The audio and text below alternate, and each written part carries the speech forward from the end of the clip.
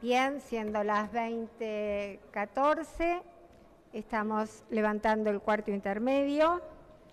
Siguiendo con la lista de oradores, tiene la palabra la senadora Lazo. Presidenta, el Uruguay está pasando el peor déficit hídrico desde que se empezó a tomar registro, o sea, hace 74 años. No hay antecedentes en Uruguay de situación similar.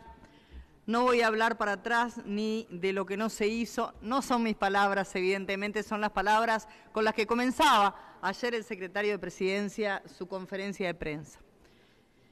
Una conferencia de prensa que evidentemente seguramente tiene, tuvo más eh, posibilidad de ser, de abarcar a un público amplio que lo que tenga hoy esta sesión. Más allá de eso, nos parece importante, por todos los términos que se han manejado acá, en esta interpelación, también en ese sentido, y yendo de lo general a lo particular, eh, plantear algunos conceptos. Aquí se habló de la cuenca del Plata. Me parece que es importante decir que la cuenca del Plata recibe todos los contaminantes de cinco países, Argentina, Bolivia, Brasil, Paraguay y Uruguay. Decir que además es un curso navegable por embarcaciones de porte y la calidad del agua del río La Plata obviamente está supeditada a las condiciones de los ríos Uruguay y Paraná. Por otro lado, desde el punto de vista de gestión de recursos hídricos es impensable que Uruguay pueda incidir porque la cuenca trasciende sus fronteras y es una de las cuencas más grandes del mundo. Por otro lado, respecto a la calidad de agua, no podemos asegurar que todos los contaminantes presentes estén contenidos dentro de los límites de admisibilidad de la actual norma que refiere a los estándares de calidad de agua potable. Estamos refiriéndonos a algo que se hizo referencia hoy en sala, que es UNIT 833-2008, Instituto Uruguayo de Normas Técnicas. Agua potable, requisitos. Podrían existir elementos químicos no contenidos en ese estándar. La cuenca del río de la Plata no es una buena alternativa de fuente de agua bruta para potabilizar, por todos los problemas de calidad que tiene y de la que no podemos hacer mucho para mejorar porque es una cuenca transfronteriza. ¿Por qué hablamos reiteradamente de un lado y otro de Casupá, de la represa Capsupa?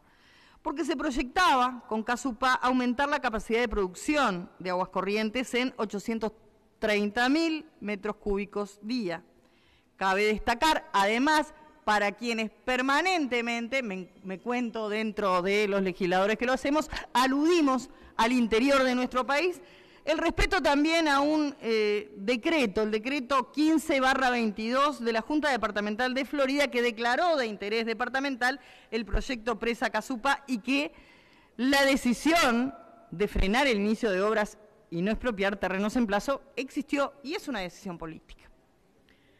El proyecto Casupá tenía previsto el financiamiento de CAF, en el 2021 se trancó el trámite de autorización ambiental previa en el Ministerio de Ambiente con IAR, publicado y se canceló el inicio de obras y eso basta ingresar a la página y al link del propio ministerio y allí aparece. Por otra parte, con la construcción de Casupán, la parte alta de la cuenca y con otros usos de suelo que generan menos contaminación difusa, estaba prevista la implementación de la medida 10 del plan de acción de la cuenca del Santa Lucía, plan impulsado en 2013, por la cual se declaraba la reserva a los arroyos Casupá y El Soldado. Al situarse aguas arriba, recibe aportes con menor carga de contaminantes y por ende almacenaría agua de mejor calidad, ni que hablar si la comparamos con el agua del río de la Plata. Esto no exime de la necesidad de implementar medidas urgentes para revertir el proceso de deterioro ambiental de la cuenta del Santa Lucía. Estamos todos de acuerdo con eso. Responsabilidad en este momento del actual ministerio. Pero nos parece interesante destacar que los sistemas de agua potable de vanguardia se sustentan en cuentas protegidas, cuencas, perdón, protegidas, que eso tiene que ver con modalidades de planificación inteligente para mejorar la calidad de agua como estaba previsto en Casupa. Es decir, que mientras los sistemas de agua potable eficientes van hacia un lado, nosotros entendemos que con Neptuno se va hacia otro lugar. El presidente OCE ha anunciado la construcción de una represa provisoria y de emergencia aguas debajo de la represa de aguas corrientes que almacenará un millón de metros cúbicos con una inversión del orden de los 500 mil dólares. Entendemos válida la pregunta de por qué no se utilizaron los recursos de otra manera en reducir las pérdidas, por ejemplo, que significaban las pérdidas de agua en un 50%.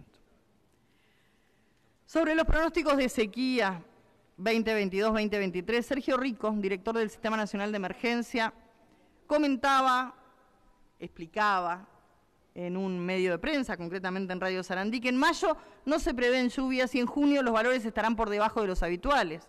Por otro lado, el informe de Inumet, con tendencias climáticas, mayo, junio, julio 2023, respecto a precipitaciones, dice, la precipitación acumulada esperada para el trimestre mayo, junio, julio en el noreste del país es inferior a lo normal y en el resto del país se esperan condiciones climatológicas, similar a las tendencias de abril, mayo y junio 2023, por lo que hasta julio seguramente todavía no se regularicen los niveles de precipitación necesarios. Por otro lado, hay otros sistemas de información de acceso público que pueden indicar con cierta probabilidad de ocurrencia eventos de la niña asociados a periodos secos y el niño asociado a periodos húmedos para nuestras condiciones con varias Perdón, senadora. de antelación. Voy a pedir silencio en sala a efectos de poder escuchar a la senadora que está en uso de la palabra. Muchas gracias. Le agradezco, Presidenta. Entendemos en referencia a los cambios en la calidad de agua potable, que Aguas Corrientes no tiene la capacidad para tratar agua salada. Es en ese sentido que los valores incluidos en la norma de calidad de agua potable definidos por ese decreto 375-2011, vamos a hacer referencia nuevamente al Instituto Uruguayo de Normas Técnicas con la 833 2008 para sodio, 200 miligramos por litro, cloro, 250 miligramos por litro, son los excedidos en el agua distribuida actualmente en el área metropolitana. Pero nos gustaría, por ejemplo, saber si hay otros parámetros que no están cumpliendo con la actual norma de calidad de agua potable. Me interesa, por ejemplo, conocer la concentración de trialometanos que figura en la tabla 10 de la norma 833-2008. Asimismo, y teniendo en cuenta que la reserva de agua dulce prevista para el proyecto Neptuno o Arasatí no dé abasto o la planta dejara de funcionar determinados días del año, no sabríamos cuántos, o el área metropolitana estaría sentenciada a consumir agua no potable, como está ocurriendo exactamente por estos días. En ese escenario, mucho nos preocupa que se cambien los estándares de calidad de agua por no poder cumplirlo frecuentemente o por implicar costos de tratamiento que se proyecten en tarifas, por ejemplo, demasiado caras. Es una preocupación que seguramente tenemos todos los que integramos este cuerpo, pero fundamentalmente lo tienen los que están afuera, la gente. El agua que está llegando a las casas del 60% de la población de nuestro país tiene elementos que pueden, podrían poner el riesgo en la salud de algunos grupos. Estamos de acuerdo.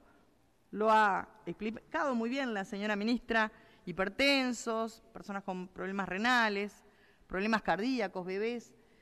La pregunta es si ayer se dieron una serie de, de medidas, pero que en definitiva esas medidas cuentan de aquí en adelante. Hasta el momento la, ya estaba implementada esta medida y estas personas seguramente tenían el mismo eh, problema que tienen al día de hoy y hacia adelante. La pregunta por eso es si se está evaluando para la población en general las consecuencias de consumo de agua con exceso de sodio, de sodio por un periodo por lo menos prolongado. Y si está definido cuál sería el tiempo límite que el Ministerio de Salud Pública permitirá esta situación de distribución de agua no potable. Se habló también del artículo 47 de la Constitución, que no voy a repetir, pero que habla de un bien común. En ese sentido, dice el bien común y la seguridad humana, incluyendo los servicios esenciales para la población, como lo es el acceso al agua potable, convergen en un estándar de calidad amplio y exigente para garantizar la seguridad sanitaria. La norma de referencia 833-08. En un escenario no deseado encontramos casos como, y vamos a poner un ejemplo que no tiene nada que ver con nuestro país, pero vamos a poner hipotéticamente el ejemplo de Colombia, que en 1997 tenía más de 590 plantas de tratamiento, pero menos del 10% de ellas garantizaban agua potable dentro del estándar internacional de potabilidad. Por eso entendemos que estamos en esta instancia de hoy. Porque como decía el secretario de Presidencia en el comienzo de esa conferencia de prensa, estamos frente a la peor crisis hídrica vivida en mucho tiempo y nosotros entendemos que acá hay una responsabilidad de planificación, que hay una responsabilidad en lo que tiene que ver con la inversión, hay responsabilidad en lo que tiene que ver con los recursos humanos, entre otros aspectos. Más allá de que entendemos que Neptuno no sea la solución. Yo, y sabe lo que lo aprecio, no está en sala, pero sabe que lo aprecio al ex ministro, tenemos un muy buen relacionamiento. Pero él mismo defendió a este proyecto, Neptuno, para no depender de una única fuente de agua potable. Se mencionó una y otra vez que ante una situación de atentado en aguas corrientes, y basta ver la versión taquigráfica del día 10 de mayo de 2022, de aquí, de Cámara de Senadores, más de la mitad de la población quedaría sin servicio. Lo cierto es que, más allá, reitero, de que nosotros entendemos que Neptuno no es la solución porque produce solo un tercio de aguas corrientes, además de ser un negocio que a nosotros nos parece que no es bueno, no fue necesario un ataque terrorista para llegar a la inseguridad hídrica. Estamos en ese sentido, padeciendo una situación de extrema seriedad. Y no es solo por la falta de lluvias, que en todo caso, gracias a los pronósticos de, que se generan a través de INUMED, podemos conocer con anticipación para prepararnos. Entendemos allí sí que hubo problemas con la planificación, con la inversión y con el manejo de recursos humanos. Y por eso nos preguntamos, ¿No será necesario apoyar a OCE con más recursos humanos e inversión? Desde esta bancada se ha reclamado permanentemente, luego culminada la crisis pandémica. Si el Estado no puede proveer del servicio de agua potable temporalmente, se deberá hacer universal y extensivo el acceso al agua embotellada, lo que implica no solamente ser vigilantes o monitorear esta situación o estar atentos, no, significa incidir en el precio de forma que no suba por las oscilaciones del mercado, reducción de oferta y aumento de demanda. Recién, mientras estábamos aquí sentados, gente de, diversos barrios, pero puedo decir exactamente de qué barrio, me mandaban de allí de la zona de Camino Valle Berres y Ruta 5, municipio A. Nos llamaban diciéndonos, mire,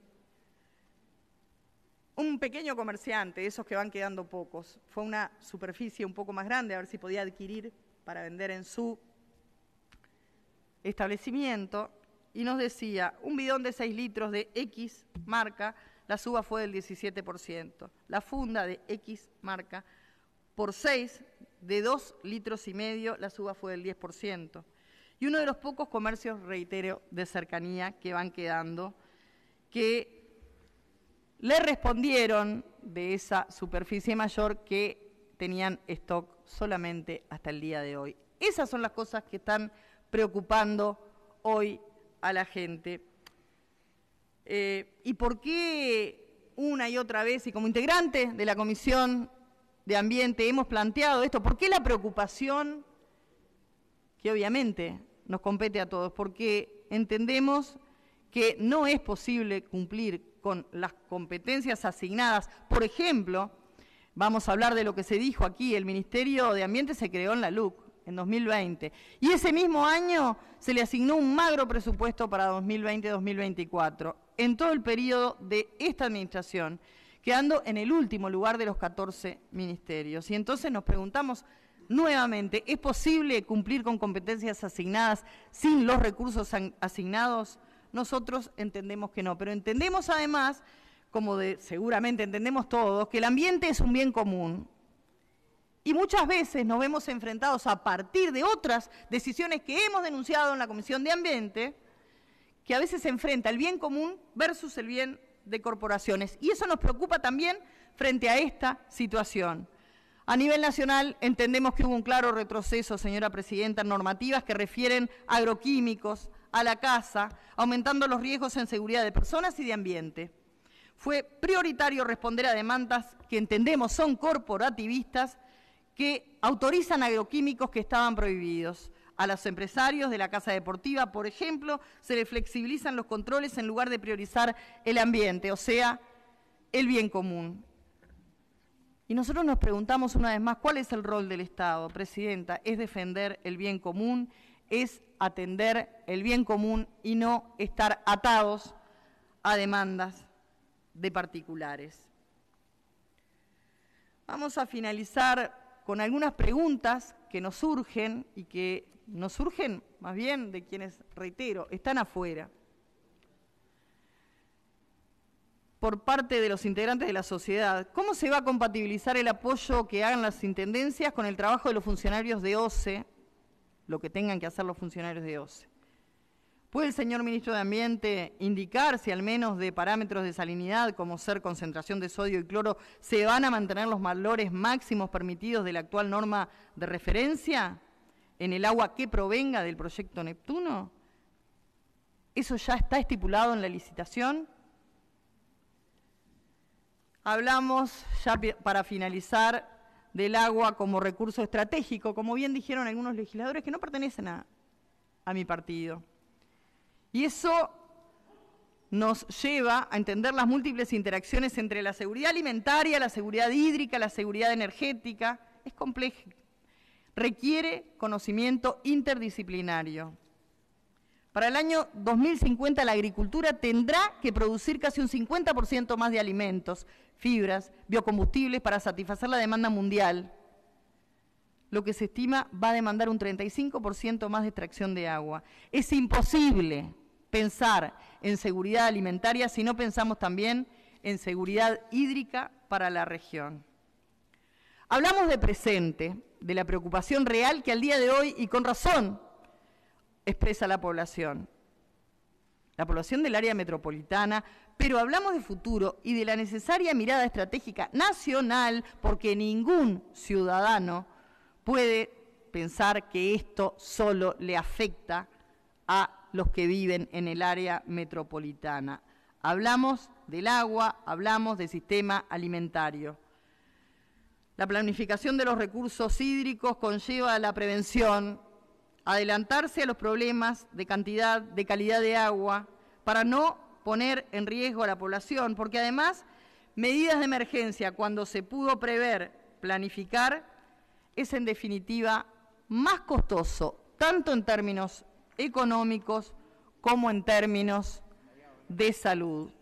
Por eso, hoy reiteramos la preocupación que esta bancada planteó al llevar adelante esta interpelación y por eso nos preguntamos si esas medidas anunciadas modifican la situación de lo que queda, de los días que nos quedan de reserva, y si modifica la situación del daño que ya se pueda haber causado desde el punto de vista sanitario a las personas que contenían las diferentes comorbilidades que aquí se indicaron. Esa es la preocupación que expresó durante toda la jornada esta bancada en el ámbito respetuoso y en el ámbito de la diversidad de las ideas, pero también de solicitar la responsabilidad a los gobernantes, en este caso del Poder Ejecutivo. Gracias, Presidenta. A usted, senadora. Tiene la palabra el senador Estraneo. Muchas gracias, Presidenta. Saludar primeramente a los, a los ministros, el ingeniero Gubier, al subsecretario Amarilla, a la doctora Randó, al subsecretario Sabastián, al presidente de OCE y por supuesto a los, a los distintos asesores técnicos que, que acompañan a distintas carteras. Presidenta, es fácil a veces con el diario de, del domingo hacer análisis profundos, críticas y sobre todo hacer conjeturas en distintas áreas tan sensibles del Estado. Hablamos de la salud, sí, hablamos de la materia esencial para la vida humana que es el agua. No vi, eh, principalmente cuando Durazno o La Valleja estaban a pocos días de, quedarse sin agua, tanta preocupación como la veo ahora por, la capital, por la zona metropolitana por Canelones. No lo minimizo, no lo relativizo, pero me hubiese gustado el mismo miedo, el mismo dolor la misma preocupación para cuando pasa en otras partes del país. Y honestamente, Presidenta, no lo he visto. No estamos hoy porque el gobierno haya ocultado absolutamente nada. Por el contrario, el gobierno ha sido muy claro en cada una de las instancias en que tuvo que informar de los hechos que vinculan o asocian a todo lo que ha sido este proceso del agua. Y eso no lo hemos destacado en todo lo que va a la interpelación. No estamos acá porque el gobierno, porque la oposición haya detectado, haya encontrado que el gobierno le ha faltado la verdad al pueblo. No lo ha hecho en ningún momento. Ha informado con claridad cada uno de los pasos. Y las exposiciones de los ministros hoy han sido más que ratificatorias de eso, de esto que estamos exponiendo. La confusión, como decía el miembro interpelante, que puede haberse generado en la ciudadanía, no la generó ni el gobierno ni esta bancada de senadores. Y me atrevo a decir que la coalición, la coalición republicana tampoco. Podemos eh, referenciar, citar, ver, sobran ejemplos en, las redes sociales, este, Twitter de legisladores, de dirigentes, donde se llegó a sostener que el proyecto Casupá y esa carpeta que se le entregó al presidente del 2019 estaba pronto para ejecutar. Es prácticamente que infantil, señora presidenta, establecer que el gobierno anterior, con clarividencia, la misma que tuvo, por ejemplo, para, para, el COVID, allá por marzo del 2020, nos dejó armado y preparado cómo contener la, la, seca más grande que iba a tener la historia de nuestro país.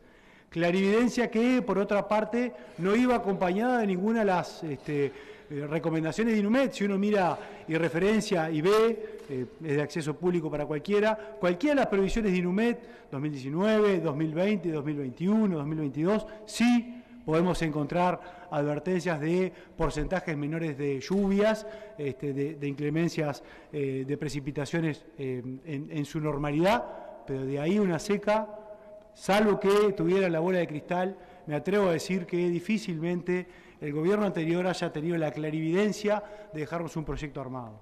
Tampoco quiero creer, tampoco puedo dar el beneficio de la duda, pero no creo que por empatía con el gobierno de la coalición este, se nos dejó armado el proyecto para contener y para salvatar este, la contingencia y la insuficiencia de agua en el país. No lo creo. Solidaridad de dejarlo pronto, no, lo veo muy lejos. Y después, la buena administración a los efectos de impulsar y llevar adelante el proyecto Casupá, bueno, lo vamos a ir desmenuzando, pero la realidad es que vamos a terminar esta exposición sabiendo que sí, se invirtieron 1.300 millones de dólares, pero los 80, quizás algo más, que valía Casupá, no se utilizaron, no se gastaron y el proyecto, o se invirtieron, y el proyecto quedó en prácticamente que la carpeta que se le entregó al presidente de la República. La verdad es que con la lupa que vamos a analizar hoy, lo que, ha, lo que han expuesto los, los este, ministros, queda claro que puede verse con el medio vaso lleno o el medio vaso vacío. Yo en este caso, Presidenta, con, ante la atenta mirada de los funcionarios del Palacio, tomé agua de, del baño y la, la, puse acá en mi vaso para que entendamos que, como bien lo han explicado los distintos este, miembros que han sido sujetos de la interpelación hoy, el agua puede ser perfectamente bebida y no tiene ningún tipo de problema. O sea, están los funcionarios de testigos. con la salvedad hecha de que, por supuesto, en mi caso puedo tomarla, porque como bien ha sugerido el Ministerio de Salud Pública, no tengo ninguna de las contingencias de riesgo asociadas a la sal. Esta salvedad la hizo el Ministerio de Salud Pública y la hizo la OCE y ha sido supervisada y sobre todo ha sido decidida dentro de los parámetros que la normativa autoriza y permite. Obviamente, tomando en cuenta el concepto que ha expresado la, ministra de los valores sensoriales, a mí me gusta siempre citar un ejemplo. El miembro interpelante es de Florida.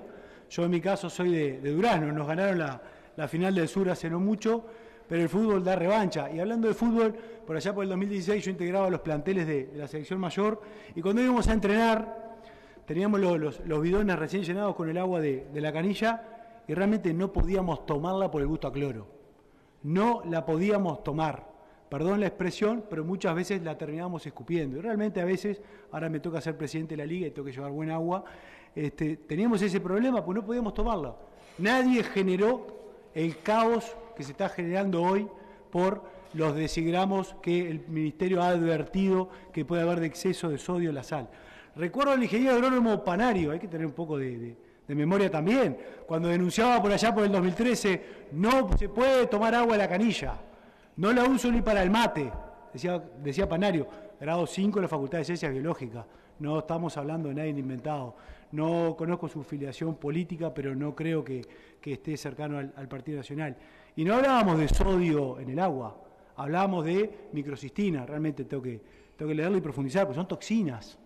Y no vi ni en el 2013 ni posterior, porque lo volvió a repetir en el 2016 2017, cuando se lo dijo especialmente a la, ministra de, Ambiente, en aquel momento estaba funcionado, este, Neida de León, de que no se podía tomar. No fueron escuchados sus, sus reclamos, y estamos hablando de alguien realmente especializado en la materia.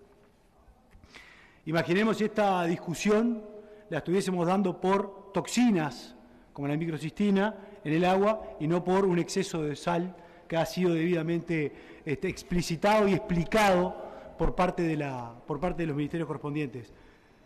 Decía la ministra en su exposición, y nosotros lo volvemos a citar, precisamos un litro y medio de agua, es decir, prácticamente que siete vasos, siete vasos de agua para ingerir de sal en el agua que yo acabo de, tomar, este, lo mismo que 100 gramos de papas chips. Habla por sí solo, Presidenta. Hablemos de prioridades. Perdón, senador. Sí. Pero no solemos hablar con música de fondo, así que ah. eh, si es posible, eh, cuidemos eh, tener los celulares en silencio. Gracias, senador. Adelante. Pensé que Pensé que me había ido el, pensé que me había ido el reglamento. En esto de la, de la, de la teoría de la, expresión popular del, del vaso lleno, el, medio vaso vacío, tenemos que remontarnos, como ya lo han hecho algunos este, compañeros senadores y lo han hecho prácticamente también los, los miembros interpelados, este, referenciar al año 70 de, los inicios del proyecto Casupá, eh, expresar, está ahí el ingeniero Castañino, que evidentemente es es una persona que se debe estar muriendo por hablar y poder contarnos muchísimo más de lo que muchos de nosotros podemos llegar a, conocer de la OCE y de, este proyecto.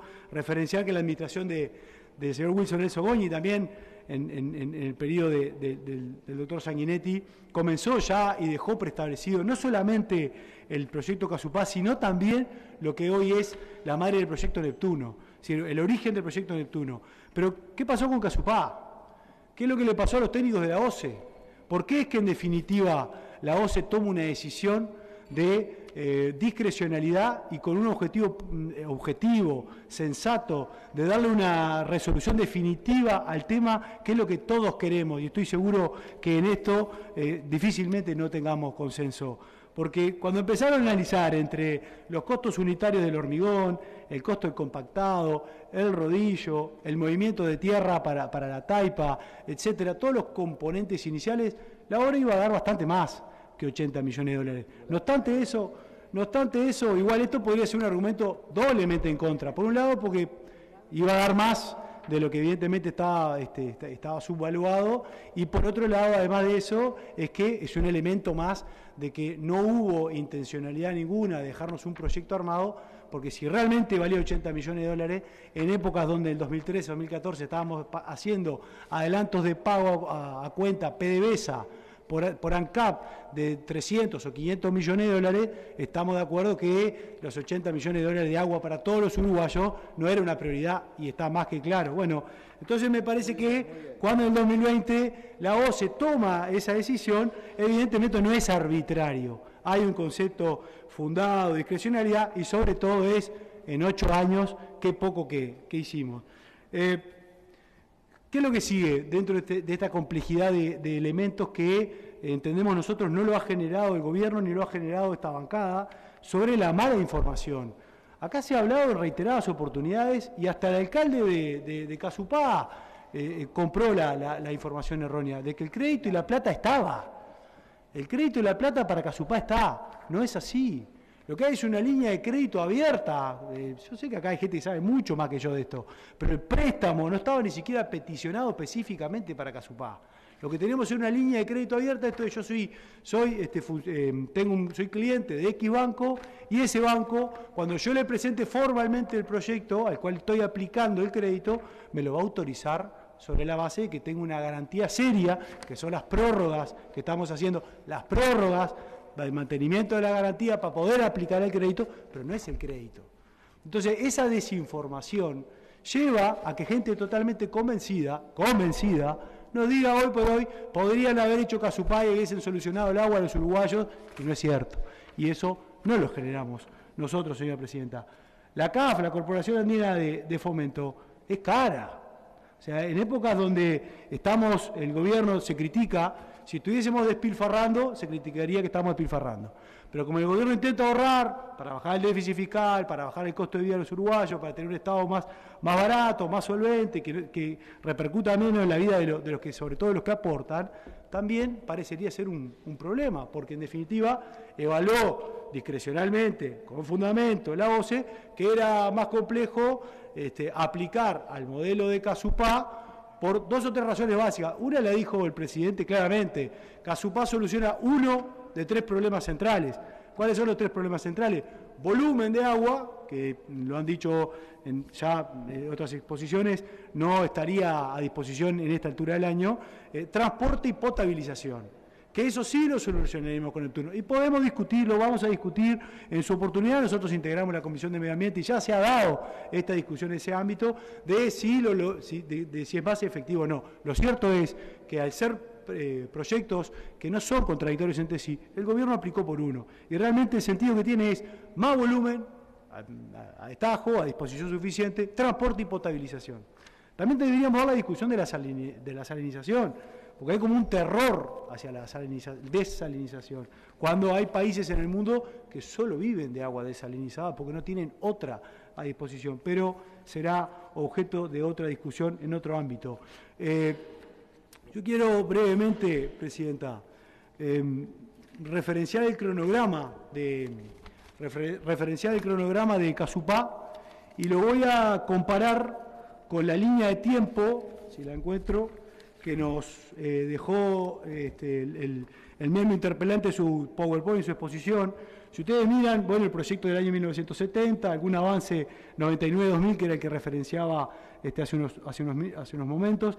En septiembre de 2013 se reactiva, 2013, eh, después de octubre de 2013, no voy a decir los pasos, simplemente voy a, hablar de fechas. Octubre de 2013, después nos vamos a noviembre de 2014, después nos vamos a abril 2016, Después nos vamos a julio de 2016, firma el contrato con de OCE, diciembre de 2016, enero de 2017, octubre de 2017, febrero de 2019, eh, noviembre, etc. Es decir, ¿qué quiero decir con esto? Que si yo tomo la línea temporal que nos trajo el miembro interpelante, donde se podía ver que el periodo de paralización de la ejecución de este proyecto eh, que, hizo la, que, en definitiva la resolución que tomó esta OCE en noviembre del 21 eh, eh, la, del, 2021, la asocio en, la, en, el tiempo, en la paralización de este proyecto, creo que preciso 50 metros de, paramétrica para poder lograr dimensionar en lo que llevó la paralización de este proyecto, que en ocho años no tiene siquiera el proyecto definitivo pronto ni la autorización de Dinama a los efectos de que se pueda aplicar seriamente este, para el préstamo y para que puedan eh, iniciarse las obras. Es decir, eh, tendríamos que ver de vuelta el, PowerPoint que exhibió el, mismo interpelante, este, pero es bastante, es bastante gráfico ver cómo, acá, por acá lo tengo, ver cómo esta gráfica, va a ser difícil que la, veamos, pero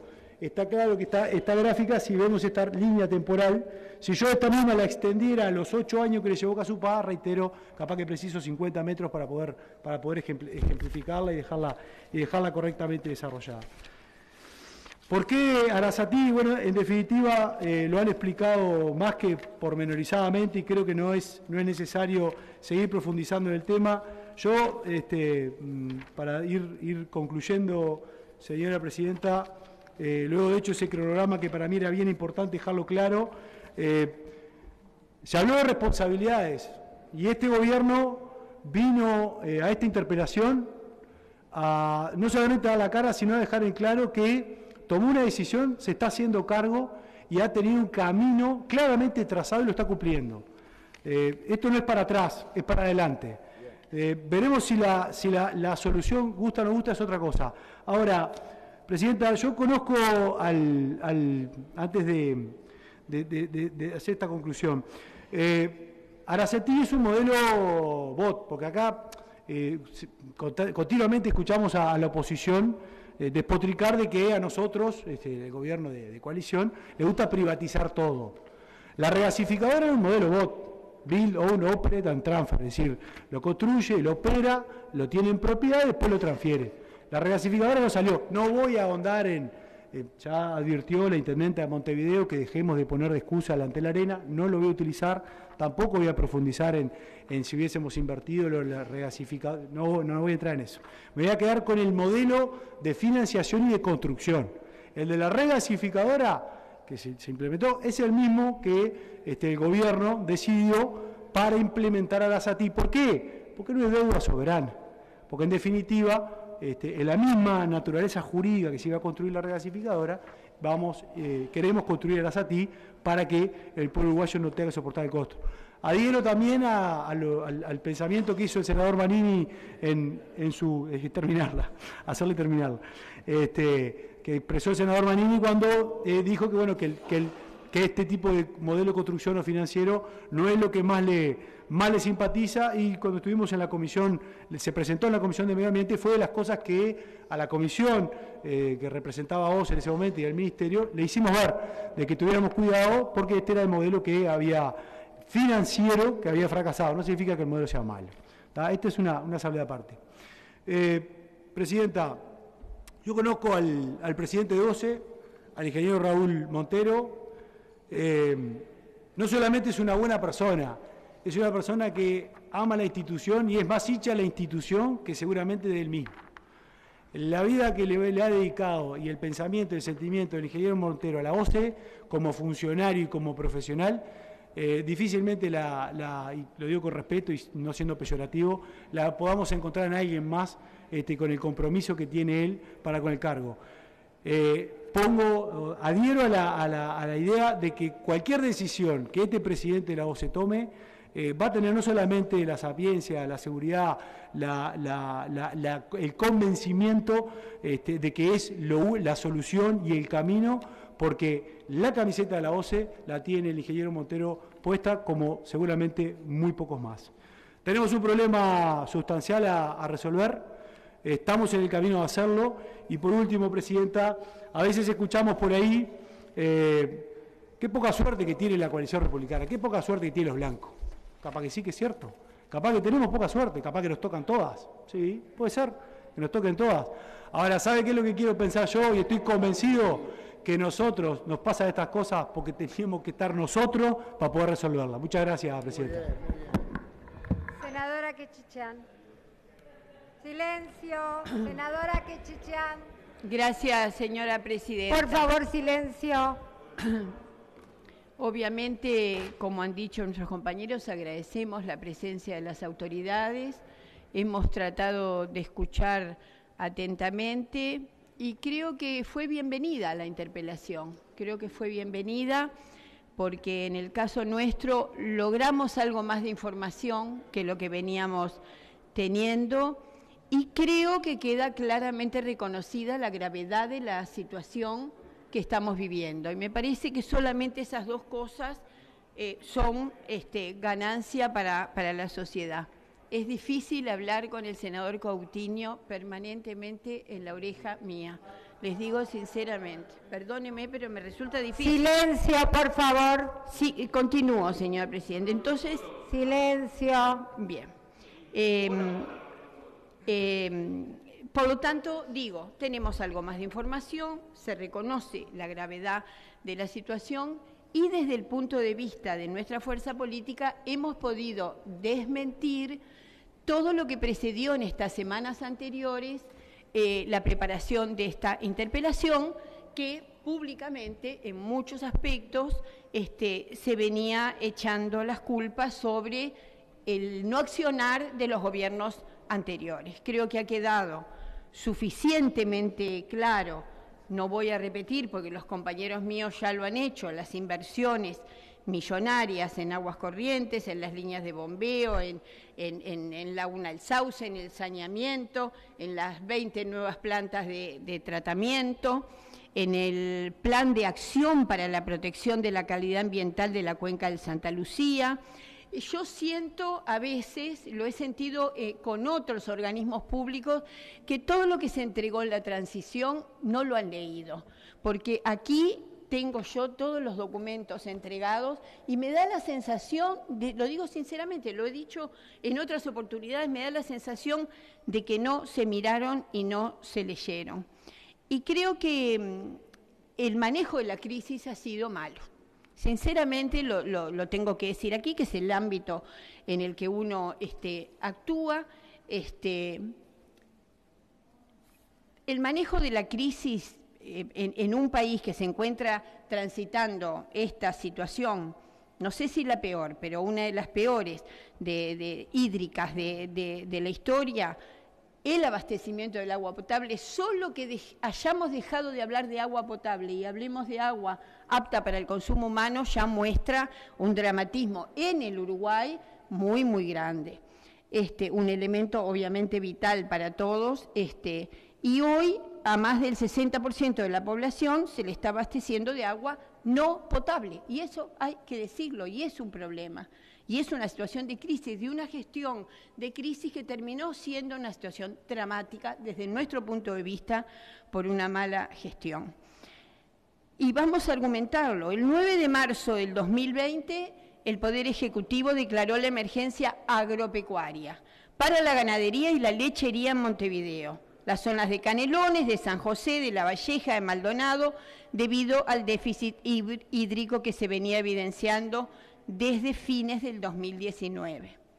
Esta emergencia fue ampliada en zonas y, en, varios plazos sucesivamente, realizando la última extensión de esa declaración de emergencia el 20 de abril pasado y hasta el mes de septiembre próximo.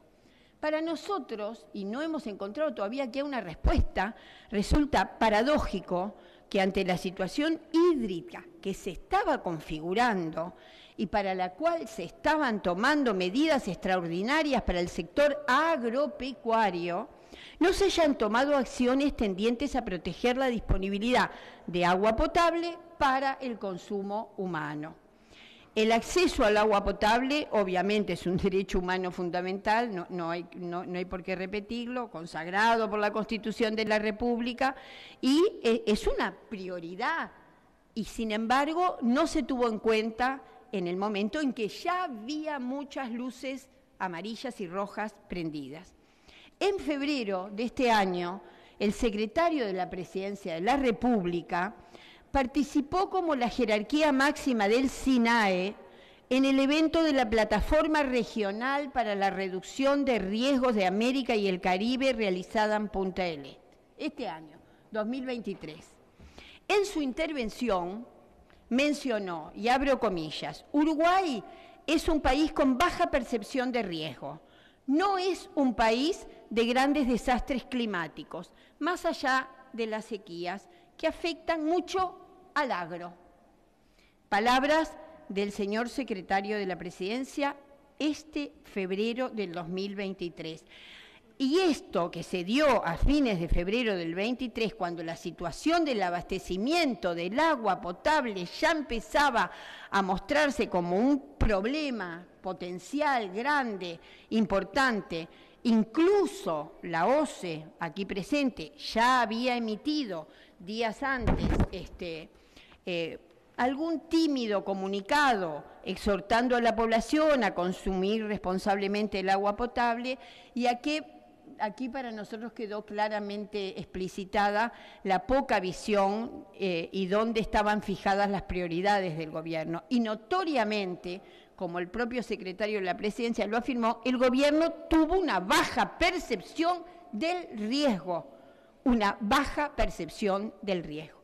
Y desde entonces el Estado ha estado totalmente ausente de la situación. Recién en esta última semana se ha desarrollado una campaña de bien público que, por cierto, para nosotros tampoco transmite con claridad la situación que estamos viviendo. El gobierno viene siendo alertado públicamente desde hace varios meses de esta situación. Desde el directorio de OCE, en representación del Frente Amplio, el profesor Ortuño, los propios trabajadores de OCE, varios expertos en el tema, a, través de varias entrevistas, incluso eh, algunos comunicados de nuestra fuerza política de fines de marzo de este año, alertaban de la falta de respuesta por parte del gobierno ante la crisis hídrica que atraviesa el país. Según la Organización Panamericana de la Salud, el agua y la salud de la población son dos cosas inseparables. No estoy diciendo nada extraordinario y creo que la ministra de Salud Pública lo expresó ordenada y claramente. Lo que intentamos eh, demostrar como elemento principal y central para nosotros es la mala gestión de la crisis que ha llevado adelante el Poder Ejecutivo en un tema tan importante. Nos estamos alarmando sobre el hecho consumado, cuando desde hace meses se podría haber tomado otras medidas para manejar de forma más eficaz. Estamos ante una incapacidad mayúscula para nosotros en la gestión de uno de los recursos más importantes para la vida de los uruguayos. Y la situación al abastecimiento del agua potable en el área metropolitana y en la ciudad de Minos no solamente es crítica, es muy dramática a esta altura. Y ha habido una falta de coordinación interinstitucional, un desconocimiento de la institucionalidad definida en la materia, en la resolución del Ministerio de Salud Pública del 4 de mayo de este año, en su numeral 5, se recomienda crear un comité interinstitucional asesor del agua para el monitoreo de la situación. Yo pregunto, ¿la ministra de Salud Pública no conoce que existe la Comisión Técnica Interinstitucional para el Control del Agua Potable desde el año 2014, creada por el decreto 237? ¿Por qué no se convocó a dicha comisión? ¿Cuál es la estrategia de gestión de la crisis de este gobierno? ¿Esperar que llueva solamente? ¿Cuándo se van a profundizar las medidas en el cuidado del agua? ¿Cuándo se va a trabajar en, un plan de contingencia? Porque mire que hace 10 horas que estamos acá y yo todavía no he visto el plan de contingencia propuesta por el gobierno para esta situación dramática. Quiero decir además que hay eh, evidentes responsabilidades. E, en, algún momento el razonamiento que hacía el ministro de Ambiente eh, sobre el proyecto Casupá es contrafáctico, porque no se hizo. Entonces, en caso de que se hubiera comenzado Casupá, este, los procesos, comenzado el proyecto, se podrían asegurar incluso sin la represa terminada, muchos técnicos nos dicen que hoy podríamos tener un porcentaje importante de agua almacenada si se hubiera comenzado el proyecto. Creo que ahí hubo cero autocrítica y describe Arasatí, Arasatí el, el ministro, pero poco y nada nos habló de la situación actual de abastecimiento. Y el propio presidente de OCE este, dijo, dijo en esta sala que lo que estamos viviendo hoy es porque no se invirtió antes. Bueno, eso nosotros no lo podemos aceptar. No lo podemos aceptar bajo ningún concepto, porque los 50 millones de aguas corrientes fueron inversiones imprescindibles, porque hoy el bombeo del Río de la Plata es posible porque hubo obras en el 2009, si no hoy no tendríamos ni bombeo del Río de la Plata, porque las bombas que habían, todos los que están acá, sabemos cómo estaban. Este, y porque todo el oeste tiene agua, porque hubo una sexta línea de bombeo. Yo de la quinta no voy a hablar porque tendríamos que estar una semana acá adentro explicando cómo empezó, cómo se hizo y cómo terminó la quinta línea de bombeo en este Uruguay querido. Entonces no me voy a meter en eso. Entonces, ¿por qué se elige una, una nueva institucionalidad? Este, en mayo, y en lugar de convocar al SINAE, miren, es increíble, no hay un ciudadano uruguayo que no entienda que el SINAE no esté reunido mañana, tarde y noche en este país. No se entiende cómo no se convocó a una institucionalidad en donde este, están integrados todos los ministerios y se coordina con los ECOE departamentales, que han funcionado muy bien desde el jefe de policía, al intendente, a los bomberos, a todos los que tienen que ver con los problemas que viven a diario los ciudadanos. Entonces, este, estamos no porque nosotros, alguien dijo acá, podemos ser oportunistas, podemos ser deshonestos, o acaba de decir el senador Estraneo que despotricamos. Ni somos deshonestos, ni despotricamos, ni somos oportunistas porque acá se nos dijo que en 15 días este país se quedaba, este área metropolitana se quedaba sin agua. Y no fuimos nosotros. Y nosotros sí que nos preocupamos. Entonces no aceptamos esos calificativos. Y también quiero decir que los problemas del agua en el Uruguay parece que todos son culpables de lo que no hizo el Frente Amplio en 15 años. Miren, vienen de la década del 70, pasaron por la dictadura, hubo una cantidad de gente que miró para el costado. Nosotros invertimos 1.300 millones. Todo lo que había que invertir, no. Hubieron cosas como en todos los gobiernos que quedaron sin culminar, por supuesto que quedaron sin culminar. Entonces, este, yo creo que además eh, la conferencia de prensa del Poder Ejecutivo, este, el presidente de la República estuvo ausente, para nosotros debería haber estado presente porque el presidente de la República incluso estaba mal informado cuando públicamente le dijo a la sociedad que nosotros éramos un poquito irresponsables porque le proponíamos un proyecto que no tenía financiación. Y la financiación está abierta, porque creo que todo el mundo sabe que en los gobiernos las cosas se financian endeudándose, algunas cosas con presupuesto y otras con endeudamiento. No es una novedad, y mucho menos para alguien con la experiencia del presidente. Y creemos que en esa conferencia la información brindada sobre la situación no fue clara, no hay datos concretos, no hay datos concretos sobre las reservas y la calidad del agua. Yo en toda esta sesión no la he podido eh, obtener y no hay una información clara y me parece que no hay una correcta percepción del riesgo por parte de la población, que también es un problema. Este, Creo que eh, Neptuno como alternativa y fuente inagotable y segura, como se dijo en esa conferencia de prensa, es una afirmación que no es cierta. En todo caso es complementaria, pero produce menos del 30% de lo que produce aguas corrientes. Y la fuente no es inagotable, porque no es segura. El recurso no es de manejo exclusivo del Uruguay. Hay, bueno, muchas cosas para decir, medidas de mitigación que no asegurarían el abastecimiento constante. Y la apuesta del gobierno a que llueva, no hay planes alternativos a eso. Se espera mantener los niveles de calidad de agua en agua para consumo humano. Y creemos además que la construcción de una represa alternativa se dilata todavía una semana más, no queda claro el concepto de estabilización de la fuente, no puedo entender todavía a qué, se, manejó Delgado, no entendía a qué se refirió. Hay una incoherencia entre el tiempo de la construcción de la represa y el objetivo planteado. Este, comprar plantas desalinizadoras, ¿qué capacidad tienen? ¿Dónde se instalarían? ¿Cómo se va a realizar el resto de los procesos necesarios de potabilización? ¿Cuándo quedarían operativas? Todas preguntas que ya deberíamos tener eh, respuestas sobre la mesa. Se asegura el abastecimiento a residenciales, a escuelas, a CAIF, al INAU, y, y, hay escuelas que piden aportes a las familias para la compra de agua embotellada. Esto tengo que decirlo porque eh, lo recibimos en nuestro despacho permanentemente, no se está cumpliendo. 100% no se está cumpliendo. Este, se, se trabaja en la habilitación de la importación de agua embotellada, se evaluarán medidas, bueno, la mayoría de las medidas que plantearon en esa conferencia de prensa de impacto en el abastecimiento estarán operativas la semana que viene, pero la efectividad será posterior, es lo que se nos dice. Entonces, eh, nosotros creemos que, que la prioridad del día de hoy y estoy convencida que es una prioridad de todos los uruguayos honestos, es buscar soluciones a esta dramática situación. ¿Cuál es el plan del gobierno? No nos queda claro.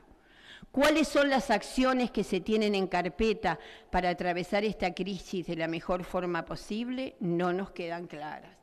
¿Tiene el Poder Ejecutivo una evaluación del impacto que esta crisis puede llegar a tener? ¿Hay industrias y trabajadores y trabajadoras que se puedan haber afectados por esta crisis? ¿Lo sabemos? ¿Está evaluado? ¿Cuáles?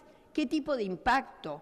Queremos, en ese sentido, información certera y queremos respuestas. Y la verdad que hoy no las hemos tenido. Esta fuerza política que hoy representamos, esta bancada de senadores del Frente Amplio, está lista para atender la mano y colaborar en buscar soluciones, porque este es un tema bien serio de todos los uruguayos. Es lo que la población necesita. Miren qué es lo que están esperando los que nos están mirando o escuchando si es que alguien lo está haciendo. Y es lo que la población espera de nosotros, que este sistema político encuentre un camino para atravesar esta crisis de la mejor forma posible. Entonces, una vez más se nos habla de consumo responsable, una vez más se utiliza la palabra responsable, una vez más se pone en, la responsabilidad de los seres individuales y no del Estado la responsabilidad, bueno, ojalá podamos caminar a una comunicación más responsable de la que ha habido hasta ahora, una responsable transparencia mayor de la que hemos tenido hasta ahora y una gestión más responsable de la que hemos tenido hasta ahora. Muchas gracias. Senadora Silvia Nane. Gracias, Presidenta. Eh, el, agua evidentemente es un recurso que puede ser un problema si no lo pensamos seriamente como de una forma integral. Creo que se puede pensar mucho en forma integral, pero creo que hoy vinimos a hablar de lo que nos está pasando. Eh, este país desde octubre del 2022 atraviesa un déficit hídrico que tiene proporciones históricas, lo, hemos, creo que ahí estamos todos de acuerdo. Tanto fue así que el gobierno decretó la emergencia agropecuaria y en octubre del 2022 y la extendió hasta mayo del 2023. ¿Y por qué decretó una emergencia? Porque eso le da ciertas herramientas para gestionar algo que se entiende que está en crisis, que hay que atenderlo en forma urgente y con herramientas que den predecibilidad a aquellas cosas en las que el gobierno entiende que tiene que actuar. En enero de este año la situación comenzó a volverse casi insostenible y la OCE hizo un llamado a la responsabilidad exhortando el uso responsable del agua en las localidades de Colonia, San José y en Maldonado, 6 de enero. Febrero y marzo la situación no mejoró y la OCE hizo otro llamado a la población para consumir responsablemente el agua potable y está comillado porque sale así de, de su comunicado, porque había un alto riesgo en distintas localidades de quedarse sin abastecimiento. La sequía continuó sin dar tregua, se secó el embalse de Canelón Grande y se secaron las otras cuatro reservas de agua que hay para Montevideo y alrededores. Y es verdad, la, OCE fue comunicando algunas cosas a través de su página web. Yo hice un breve resumen de esas comunicaciones para ir entendiendo cómo se fue gestionando esto. Arranqué en el 8 de marzo. El 8 de marzo el comunicado dice que en el día de ayer, o sea, el 7 de marzo, por baja marea, no fue posible realizar trasvases en agua corriente. En ese momento eh, todavía podían usar reservas del Canelón Chico y se decía, la OCE misma dice, este trasvase permite mantener hasta fines de abril la disponibilidad de reservas, considerando el promedio de agua bruta, etcétera, etcétera. En ese momento, la OCE decía que tenía unos 26 millones de metros cúbicos en Paso Severino y 4 millones de metros cúbicos en Canerol Chico. En, este, en esta fecha no había ninguna evaluación de la situación. Cuando vemos qué pasó el 11 de marzo, eh, entre el 11 y el 14 salen notas en la prensa que dice se seca el embalse de Canelón Chico y salen fotos como esta de la gente buscando metales en el, en el lecho del Canelón Chico porque estaba completamente seco. Sigo con la información de la OCE. El, el 15 de marzo dice, se está analizando un plan de acción con la región metropolitana y centro. ¿Cuál fue ese plan de acción? ¿Quién fue el responsable de la gestión de ese plan de acción? Tampoco se evalúa la situación. No sé si eso quiere decir quizá que todavía no tenían definidos los parámetros con los que iban a evaluar esta situación que venía complicándose, porque ya se había secado el canelón chico. El 22 de marzo, sigo con información de la OCE, el 22 de marzo dice, el embalse de Paso Severino continúa descendiendo y se encuentra en cota 30,94 metros, siendo este el nivel mínimo histórico registrado. Estábamos en un problema más serio todavía. En ese caso dice, se continúa trabajando en medidas. El plan de acción, al haber llegado al mínimo histórico, ¿cambió? ¿Se dispararon otros riesgos que quizá antes estaban en contingencia? ¿Qué alerta se activó? ¿Consultaron a Inumet a ver cómo iba a proseguir eso? ¿Qué iba a pasar quizá la semana siguiente, 15 días para atrás? ¿Qué referencias tomaron? En ese momento había una la OCE dice que tenía una reserva de 19 millones de metros cúbicos. Asumiendo un consumo de unos 600 mil y pico, 700 mil y pico, que tengo entendido que es más o menos lo del área metropolitana, ahí teníamos agua para unos 30 y poquitos días. De nuevo, 22 de marzo, límite mínimo histórico de la cota, no se evalúa la situación. Pero si se dice que se llevó a un mínimo histórico, entiendo que muy bien no estaba. Pasamos al informe del 29 de marzo. El 29 de marzo subió un poquito el volumen, según dice el informe, 2 millones de metros cúbicos, y es la primera vez que aparece un indicio de una evaluación de criticidad, porque ese día dice la situación crítica se mantiene. O sea que si se mantiene es porque la anterior ya era crítica. El 19 de abril dice, la cota está 17 centímetros más baja, ni siquiera hace la cuenta de cuánto, de cuánto era en metros. Y dice que hay una reserva de 14 millones, veníamos de una reserva de 17. Y hacen una evaluación que ya no se entiende mucho si es de criticidad o de qué es, porque dicen la situación continúa siendo compleja. Una situación compleja es una situación que tiene varias variables, no necesariamente que es crítica. Una cosa es definir un sistema por su complejidad, otra cosa es definir una situación como crítica. Son cosas bastante diferentes, no son sinónimos.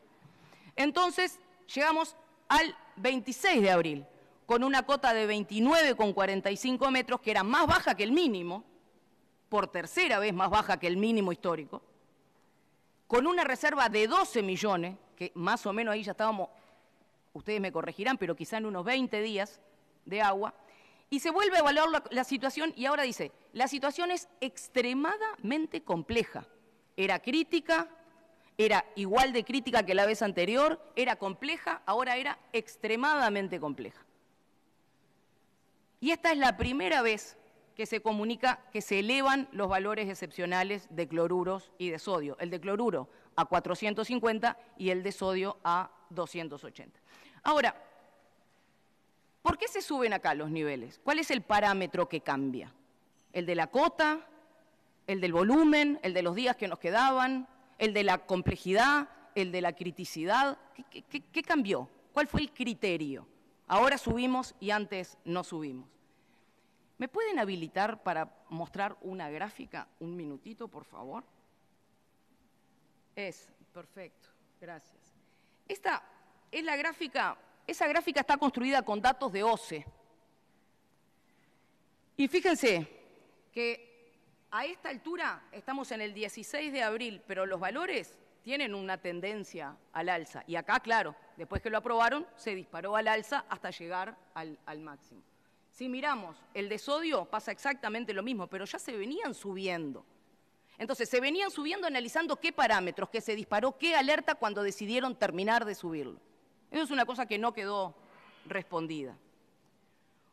El 3 de mayo, de nuevo, datos de, la OCE. Ya no hay evaluación, pero dice, con las medidas establecidas en las últimas horas, ¿cuáles fueron las medidas de las últimas horas? las que estaban en algún plan de acción que estaba evaluando alguna situación que no sabemos si evaluaba complejidad o criticidad.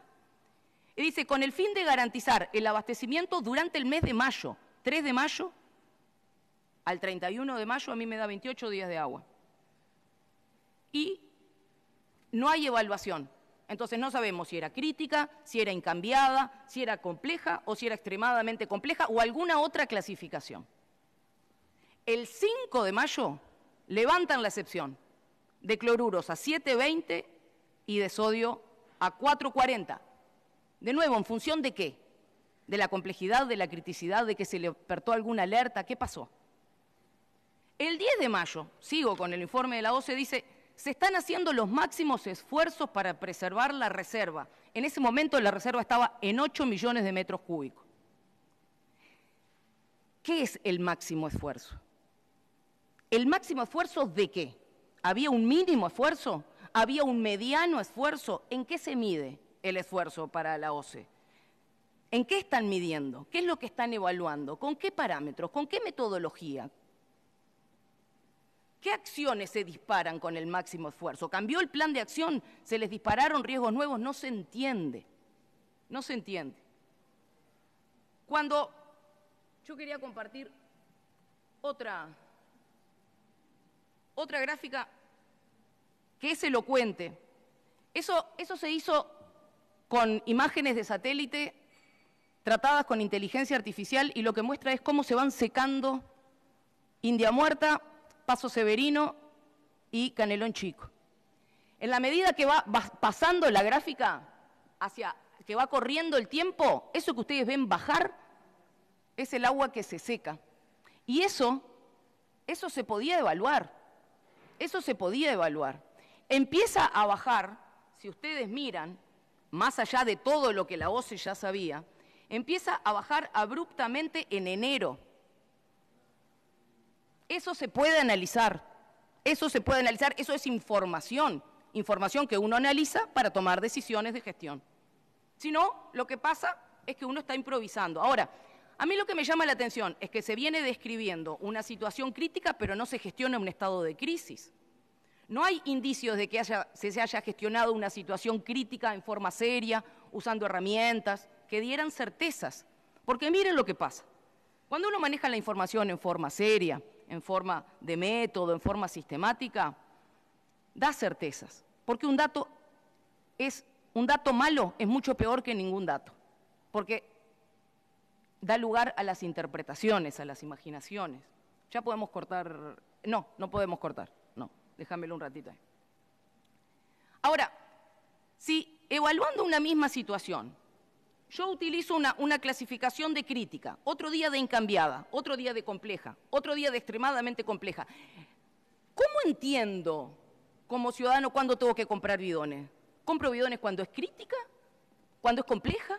cuando es extremadamente compleja o cuando permanece incambiada. ¿Cómo me manejo? Porque cuando hay responsabilidades de gestión, no se adjetiva la situación. La situación se evalúa, se mide, se analiza. Se analizan las evidencias, se actúa trabajando con evidencia. Por supuesto, además se informa a quienes están siendo afectados, ¿no? Después viene la comunicación del gobierno. El 11 de mayo, cuando la OCE nos decía que había 8 millones de metros cúbicos, cuando había bajado, bajado, bajado todos los mínimos históricos. En ese momento dice, nos reunimos en la torre ejecutiva, los ministros de Salud Pública y de Desarrollo Social, con el presidente de OCE, vamos a tomar algunas medidas, vamos a hacer un grupo coordinador compuesto por diferentes instituciones, MIDES, Ministerio de Salud Pública, Ministerio de Ambiente, Ministerio de Economía y Finanzas, OCE, para hacer un monitoreo integral de la situación. Yo les pregunto, ¿qué rol tiene cada uno en este grupo? ¿Qué hicieron? ¿Cuál es la forma de funcionamiento? ¿Cada cuánto se reúnen? ¿Quiénes van? ¿Quiénes son los responsables? ¿Cuáles son los parámetros que evalúan? ¿Cuál es el plan de trabajo? ¿Qué es lo que están monitoreando? Pues sería bueno saber, hacen un grupo, qué es lo que, lo que van a hacer. ¿Van a evaluar en 30 días las medidas? ¿Cuándo las van a evaluar? ¿Cuáles son los parámetros? ¿Con qué parámetros de control están gestionando esta situación? Y después me gustaría saber cómo es la situación hoy. ¿Es crítica? ¿Es incambiada? ¿Seguimos con parámetros de complejidad? Porque el Ministerio de Salud Pública dice que no puede haber cortes en el suministro porque no se puede aumentar el riesgo bacteriológico de la red. Macanudo. ¿Van a poder sostener los valores por debajo de los máximos de cloruros y de sodios sin reservas en Paso Severino y sin que haya cortes que aumenten el riesgo bacteriológico? ¿Y saben por qué me preocupa esto? Porque si yo miro la información pública de OCE, que no la publicó la OCE, que se publicó después, a partir del esfuerzo en la Intendencia de Montevideo, yo lo que veo es que hace dos meses que Paso Severino alcanzó su mínimo histórico. Tres veces alcanzó el mínimo histórico, el mínimo. Otro más abajo que el mínimo, otro más abajo que el mínimo y otro más abajo que el mínimo. Y cuando leo la prensa, resulta que hay un montón de meteorólogos que dicen que puede llover en mayo, pero que probablemente esa primera lluvia se las absorba el suelo, así que va a demorar bastante en ir a los cauces, y que si queda algo para aumentar los caudales no va a mover la aguja. Entonces, sería importante tener información pública de calidad, porque entonces podríamos incluso en pensar en propuestas de innovación o de colaboración desde la sociedad civil, desde actores privados, desde la academia por lo menos también se podría haber hecho un informe como el que se hizo en la declaración de la emergencia agropecuaria, que tiene un muy buen análisis de impacto, quiero decirles. Miren, la Intendencia de Montevideo ha sido la única institución que publicó datos de los muestreos y que digitalizó y los puso a disposición. No vale decir que no se van a traspasar los límites, pero no publicar los datos que verifican eso. No, no es serio, no es serio. Cuando miramos las muestras tomadas al 15 de mayo, lo que vemos es que se están yendo por encima de los máximos. Y no es porque los tanques estén sucios. No es porque los tanques estén sucios, porque solamente dos de esas policlínicas tienen tanques que están limpios y son, de hecho, las que dan un 50% más abajo. No es por los tanques. Vamos a aclarar por las dudas. Entonces, con una, yo puedo sentarme acá y tratar de hacer una mirada política desde un charco de barro. Yo puedo intentar entender las confrontaciones políticas que, nos puede, que puede llevar a la bancada de gobierno a que le dé tirria a la intendenta de Montevideo. Ahora, yo quiero levantar la mirada del, del charco, porque es lo que corresponde, es lo que corresponde realmente. Y también es de orden aclarar que la Intendencia de Montevideo lo que viene haciendo es actuando de acuerdo a las responsabilidades que le dio la ciudadanía, ni más ni menos, porque es lo que corresponde. La Intendencia está mostrando los datos cada 48 horas, los datos sobre las condiciones del agua en Montevideo, es lo que le corresponde. La Intendencia de Montevideo salió primero que nadie a implementar medidas para cumplir con las recomendaciones hechas por el Ministerio de Salud Pública. ¿Por qué? Porque es lo que corresponde. Las intendencias de Montevideo y de Canelones fueron a una reunión que convocó el gobierno a colaborar. La intendencia de Montevideo fue con 20 medidas que eran factibles para colaborar con el gobierno nacional. Esta bancada, señora presidenta, esta bancada que hoy interpela, también trajo ideas para discutir. Y la bancada de la coalición no nos dio sus votos para que pudiésemos tener esa oportunidad. El Frente Amplio colabora, claro que sí, Claro que colabora. Es lo que hemos venido haciendo en este tiempo. Pero la verdad que a veces es difícil, porque la información no está, porque no tienen datos para intercambiar y porque se empacan en tener razón todo el tiempo. El Frente Amplio plantea soluciones, pero después salen a decir que queríamos llenar el Santa Lucía con agua mineral, que las muestras del agua que se tomaban en las policlínicas tenían los tanques sucios y que la culpa de que el gobierno no haya gestionado bien esta crisis hídrica se delante de la arena. Es difícil así. Pero miren, pese a todo eso, pese a todo eso, este gobierno no es solamente el gobierno de quienes lo votaron. Este es el gobierno de todas y de todos. Y cuando abrimos la canilla y el agua está salada, no importa quién votamos. El gobierno hoy tiene que tomar las riendas de la situación. ¿Por qué? Porque es lo que le corresponde. Y tienen que dejar de hacer pataletas en el barro y ponerse a trabajar en serio.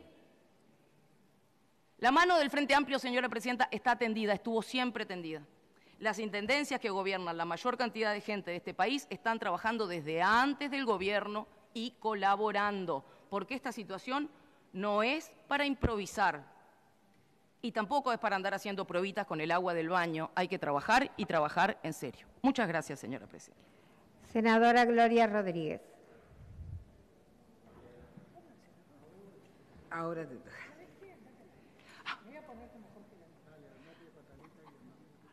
Eh, muchísimas gracias, señora presidenta. Saludamos a las autoridades, a la señora ministra, al señor ministro y a las autoridades que los acompañan. Han sido muy claros en sus exposiciones. Muchas gracias. Acá, señora presidenta, se manifestó que estamos gobernando el gobierno de coalición ya para cuatro años. Sí, es cierto, pero faltó en estos encendidos discursos mencionar la pandemia. La pandemia, ese enemigo invisible, desconocido, que lo enfrentamos. Y por el otro lado, mientras nosotros enfrentábamos a la pandemia, tratando de amparar aquellos que habían caído en una situación sumamente complicada, amparar, ayudar, trabajar frente al sistema de salud y a su vez cuidar la economía del país. Por el otro lado, nos enfrentábamos a aquellas voces que al igual que ahora se elevaban sembrando el miedo con un terrorismo verbal, prácticamente anunciando el apocalipsis. Y señora presidenta, nosotros no estamos abordando el tema ahora por la situación de crisis debido a la, a la sequía. Nosotros venimos trabajando este tema fuertemente, incluso desde el, desde el, periodo, desde el pasado, con legisladores de, de todos los partidos.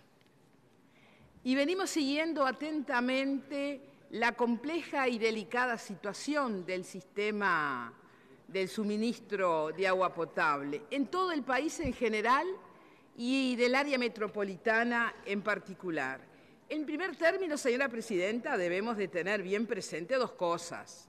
La primera es que estamos haciendo frente a una de las peores sequías de los últimos 100 años. Y la segunda es que nuestro gobierno está haciendo cargo, implementando una serie de medidas de corto y largo alcance y trabajando para dar la mejor calidad de agua con los recursos hídricos con los que se cuentan. Recordemos que OCE, solo desde su planta potabilizadora de aguas corrientes, abastece a más del 60% de la población del Uruguay. Sí, a más del 60%. Y sin embargo, no se contó con un plan B. ¿Se trata de un fenómeno nuevo que irrumpió luego del primero de marzo del 2020? No. ¿No se conocía o no fue advertido oportunamente? Se conocía perfectamente desde hace décadas y sus consecuencias fueron advertidas en infinitas oportunidades. Y vamos a recordar, porque está bueno recordar, vamos a recordar que el 5 de mayo del 2015, ante la Comisión de Defensa Nacional de la Cámara de Representantes, el entonces ministro de Defensa, Eleuterio Fernández Huidobro, declaraba, un problema que se suscitará en aguas corrientes sería uno de los más grandes que Uruguay podría imaginarse. Hemos hecho trabajos con ingenieros, quienes nos han asesorado para ver qué pasaría en Montevideo y aledaños a las 24, a las 48, a las 72 horas que dejara de venir esa cantidad de agua y parece un cuento de ficción o medio de terror. Uruguay no está preparado para afrontar unas circunstancias de esa naturaleza, tal vez porque provenimos de una época de abundancia de agua, haciendo énfasis en la necesidad de contar con un plan B, otro lugar donde sacar agua potable, que no es otra cosa, señora presidenta, que la construcción de una toma de agua sobre el río de la Plata, muy similar a la que se está implementando por este gobierno. Y nos advirtió en el 2015 de la fragilidad inimaginable del sistema que abastece de agua a Montevideo y alrededores, y a la falta de preparación del país para enfrentar su posible colapso. ¿Y qué ocurrió? Desde OCE, su vicepresidente, lo tildó de alarmista, expresando además que lo planteado por el aquel entonces ministro Huidobro, no tenía ningún sustento científico. No podemos olvidarnos, señora presidenta, que en un eventual problema en la cuenca del río Santa Lucía ya estaba previsto hace más de 100 años. Y es decir, que el ministro de Defensa del gobierno anterior les anticipa de forma directa lo que ocurría, ocurriría de no hacer nada y nadie se inmutó. Y si hablamos de titulares de prensa, yo voy a también hacer memoria a otros titulares. Por ejemplo, el título de la diaria del 19 del mes 5 del, del 2016. Nos tapó el barro. O se vierte diariamente 60.000 metros cúbicos de lodo con químicos al Santa Lucía, modificando la Morfología del río, 2016. Otro título del Observador, del 20 del 12 del 2016, Sindicato de OCE habla de tarifazo y apunta a la mala gestión de la empresa pública. Sin una fuerte política de inversión no se podrá revertir la dura realidad que a juicio de los trabajadores de OCE atraviesa el ente. El sindicato señala que desde el 2009 OCE tiene déficits en sus balances que se profundizaron significativamente en los últimos años, aún en tiempos de vigoroso crecimiento económico. Señora Presidenta, insisto sobre esta afirmación que es del sindicato de OCE, que desde el 2009 tiene déficits en sus balances. En realidad, en esta frase se está revelando toda una política, entre comillas, sobre agua potable de los gobiernos desde el primero de marzo del 2005 al 29 de febrero del 2020. Nosotros venimos trabajando, señora presidenta, y por eso tenemos, tenemos acá todos los datos de lo que de los pedidos de informes, de nuestras participaciones en los diferentes cabildos, em, con el, periodista Álvaro Alfonso, al cual lo hemos este, consultado, un hombre que siempre estuvo hablando sobre este tema. El 25 de mayo del 2017 participamos en un cabildo en la Villa de Aguas Corrientes, donde pudimos tomar conocimiento de nuevas denuncias Cabe destacar que no concurrieron los representantes políticos de OCE. Sí lo hicieron delegados de la Dinama, que no respondieron a las preguntas de los vecinos. El 5 de julio del 17, 2017, la Comisión de Derechos Humanos que integrábamos de la Cámara de Diputados recibió una delegación de Aguas Corrientes, de vecinos de Aguas Corrientes, que expusieron sobre la contaminación que generaba nada menos que la OCE como consecuencia del proceso de potabilización de aguas de su planta. El 10 de julio del 2017 realizamos un pedido de informes al Ministerio de Vivienda, Ordenamiento y Territorial en aquel momento, y por su intermedio el directorio de OCE, el cual debemos de reiterar porque no tenemos respuesta. Convocamos a las autoridades desde la comisión, pero no tuvimos respuesta. No concurrieron las autoridades de OCE de aquel momento. El 10 de octubre del 2017, estábamos presidiendo la Comisión de Derechos Humanos de Diputados, junto a la representante de aquel momento, Cecilia Aguiluz, en aquel momento representante del Partido Colorado, concurrimos a Villa Aguas Corrientes. En esa oportunidad, los representantes del Frente Amplio en la Comisión de Derechos Humanos no nos acompañaron. Allí incluso navegamos en un pequeño bote, eh, parte del río próximo a la planta, y pudimos apreciar el estado absoluto de deterioro ambiental, sin vida vegetal ni animal, la otrora concurrida playa de aguas corrientes tomada totalmente por los lobos. Un verdadero escenario dantesco. El 19 de octubre del 2017, un grupo de autoridades municipales y de representantes de organizaciones sociales de aguas corrientes fue recibida por la Institución de Derechos Humanos y Defensoría del Pueblo y entregaron una denuncia contra el Estado por considerar que estaban siendo violados los derechos humanos de los pobladores de la villa.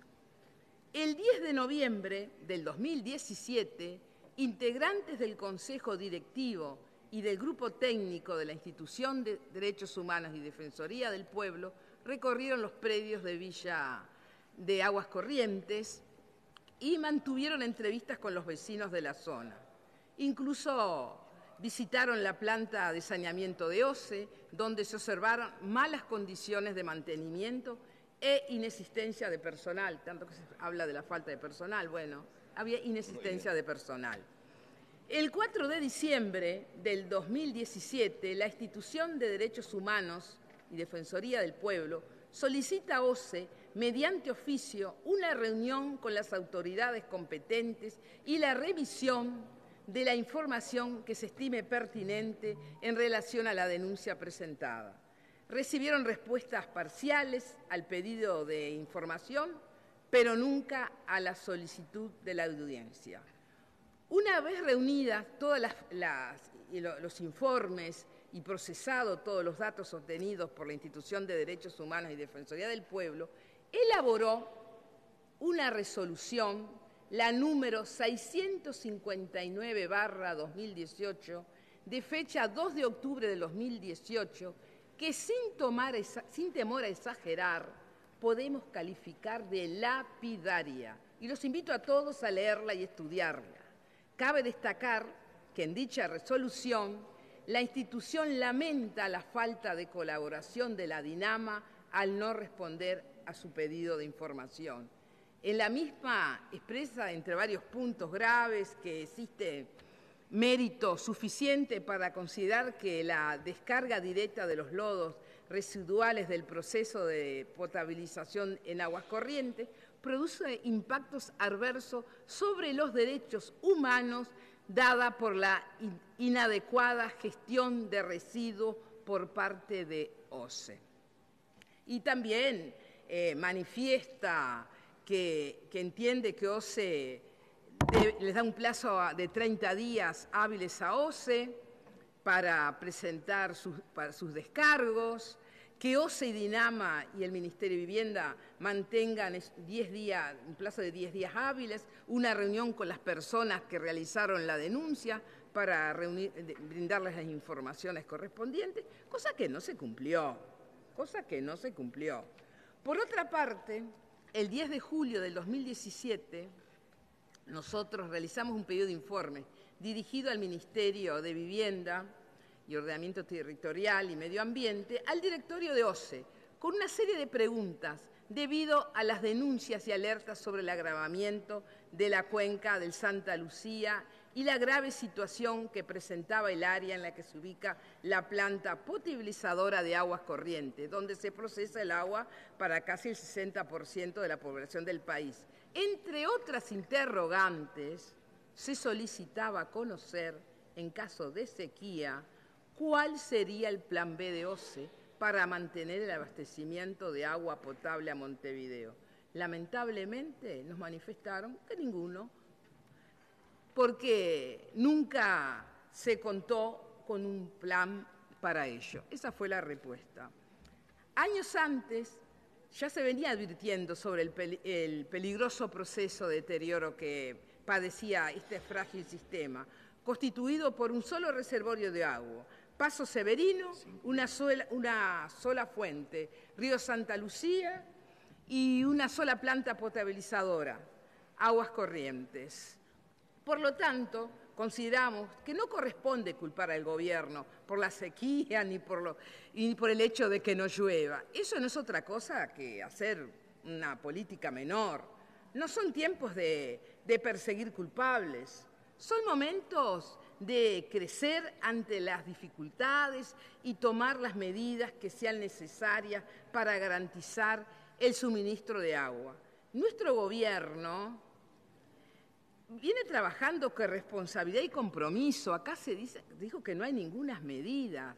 Se, encuentra, se ha implementado una serie de medidas paliativas a corto plazo, como las que fueron anunciadas recientemente, que se refieren a garantizar el suministro de agua embotellada a determinados grupos que incluyan a las embarazadas y niños de 0 a 2 años, que reciben las asignaciones familiares del Plan Equidad, beneficiarios del programa de MIDES para quienes padecen enfermedades crónicas y pacientes con insuficiencia renal y con cirrosis en tratamiento por el Fondo Nacional de Recursos, creación del grupo, que recientemente te lo estaban criticando, si no, no se hace, no se hace, pero si se hace, se critica, del grupo coordinador integrado por el Ministerio de Desarrollo Social, Salud Pública, Ambiente, Economía y Finanzas y OCE, para garantizar un monitoreo integral de la situación. Construcción de una represa provisoria para aislar un tramo del río Santa Lucía, lanzamiento, que dijeron acá que no, tenemos un lanzamiento de una campaña de bien público para informar a la población sobre la situación actual y que aporte insumos para el uso responsable del agua potable. Tenemos que decirlos estas cosas, no podemos negarlo porque sabemos que es así. Obviamente nosotros desde legislativos seguimos la situación con preocupación, pero estamos seguros del camino elegido por el Ejecutivo. Sin embargo, seamos sinceros, y antes de escandalizarnos, tengamos memoria. Esto no es una situación nueva. Muchos han sido a lo largo de los años las advertencias sobre la necesidad de contar con una estrategia para hacer frente a una posible situación como la que actualmente estamos viviendo. En definitivo, hoy estamos afrontando las consecuencias, aunque muchos lo nieguen, de años de coleccionar diagnósticos, sin pasar a decisiones y acciones concretas. Ahora podemos afirmar enfáticamente que nos estamos haciendo cargo, afrontando el problema, implementando medidas con visión de futuro. En este sentido, señora Presidenta, nuestro Gobierno realizará la mayor inversión para agua potable de la historia del país, un proyecto, el proyecto Arasatí, el cual brindará una fuente alternativa e ilimitada de este recurso como solución a muy largo plazo. El próximo mes, nos acaban de decir, se realizará la apertura de las ofertas para dar inicio a ese proceso. Entonces, señora Presidenta, nuevamente se da aquello de que no resiste el archivo.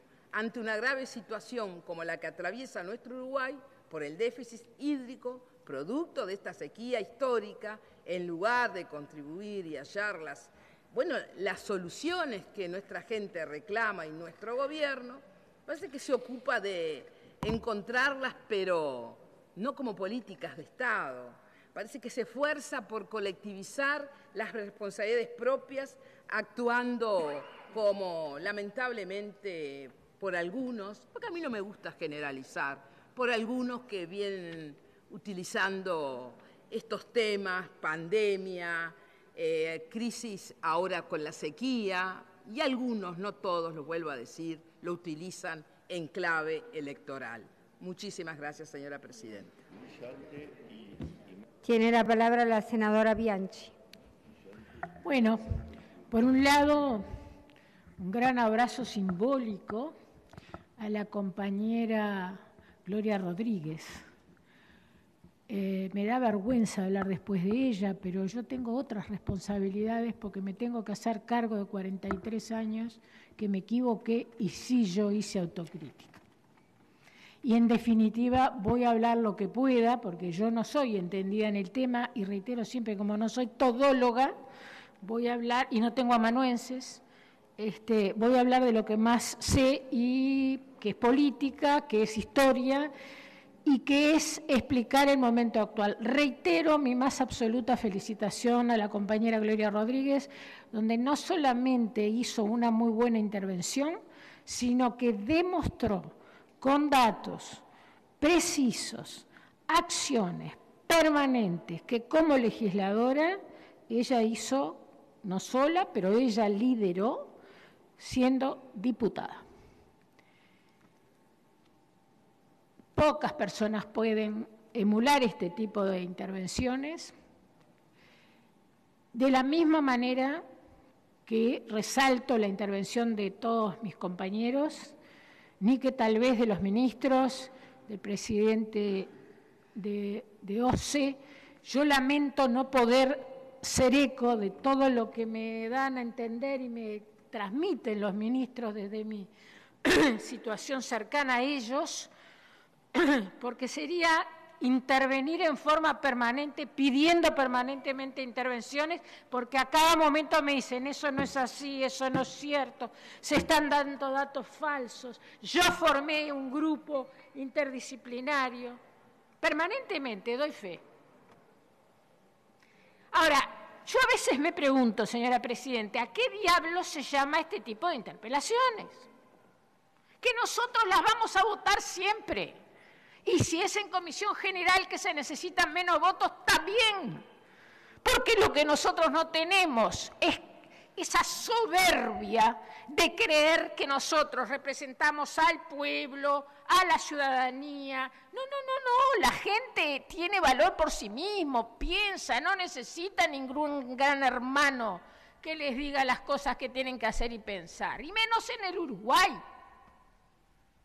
Y menos en el Uruguay. No somos porfiados, malos gestores, mentimos, tenemos poca visión incapacidad mayúscula, y después dicen que quieren ayudar. Nosotros, a partir de la intervención del actual senador Adrián Peña, tuvimos la gran esperanza, porque siempre tenemos esa esperanza, porque nuestra naturaleza no la perdemos, en lo bueno ni en lo malo, de que se pudieran abrir las puertas a la comprensión. Pero resulta que parece que esto es un diálogo de sordos. Esto me hace acordar a Durgen cuando analizaba el discurso y decía, bueno, entonces el discurso, mientras tenga coherencia interna, no importa que sea veraz o no. Porque yo no entiendo cómo los datos que se dieron, la información que se dio, la sistematización de la información, no se escuchó. Ahora, si ya se venía con todos esos preconceptos, ¿a santo de qué estamos acá perdiendo el tiempo? Porque la verdad que es una pérdida de tiempo. Yo no considero que esto sea positivo. Porque sería positivo si nos escucháramos, si de verdad nos escucháramos, si de verdad abriéramos las cabezas. Pero es muy difícil, sobre todo cuando se pierde el poder. Y cuando se pierde el poder y los privilegios del poder, ahí sí que son empacados. El problema es que además están con un resentimiento, señora Presidente, que no permite que podamos tender puentes. Son oposición, no son gobierno. En este momento, en el Uruguay, se cambiaron las mayorías porque nosotros vivimos en un país donde es normal que estos cambios sucedan. Y los equipos técnicos de nuestro gobierno, señor presidente, han demostrado a lo largo de todas las crisis que nos ha tocado vivir en estos tres años y poco, porque cuando les conviene son dos años y poco, cuando no les conviene son cuatro años. ¿Pero qué cree que son? ¿Que somos tontos? Siempre termino diciendo lo mismo, porque la verdad, la verdad es una subestimación al otro que molesta. Yo soy agnóstica. Pero la ira de los justos está consagrada en la Biblia. Provocan ira en los demás, en los funcionarios que están poniendo todo lo que pueden con casi nada, porque nos dejaron con casi nada, y asuman la responsabilidad que nos dejaron con casi nada, tratando de que este país se encauce a ser por, de una vez por todas una potencia emergente y no ese país condenado por políticas populistas que nos llevan a ser siempre dependientes y todavía encima dependientes de algún vecino si tiene una ideología que es igual a la nuestra. El otro día yo lo, recordé a Tulio Halperindongui, que por las dudas es marxista. Gran profesor de historia, investigador histórico, valiosísimo que habla cuando hace el análisis sobre América Latina y sobre los países de América Latina a la interna, de lumpen proletariado, de lumpen burguesía, porque somos mediocremente lumpenes, pero además da un concepto que es una cosa que la tenemos que tener en cuenta, el lumpen imperialismo.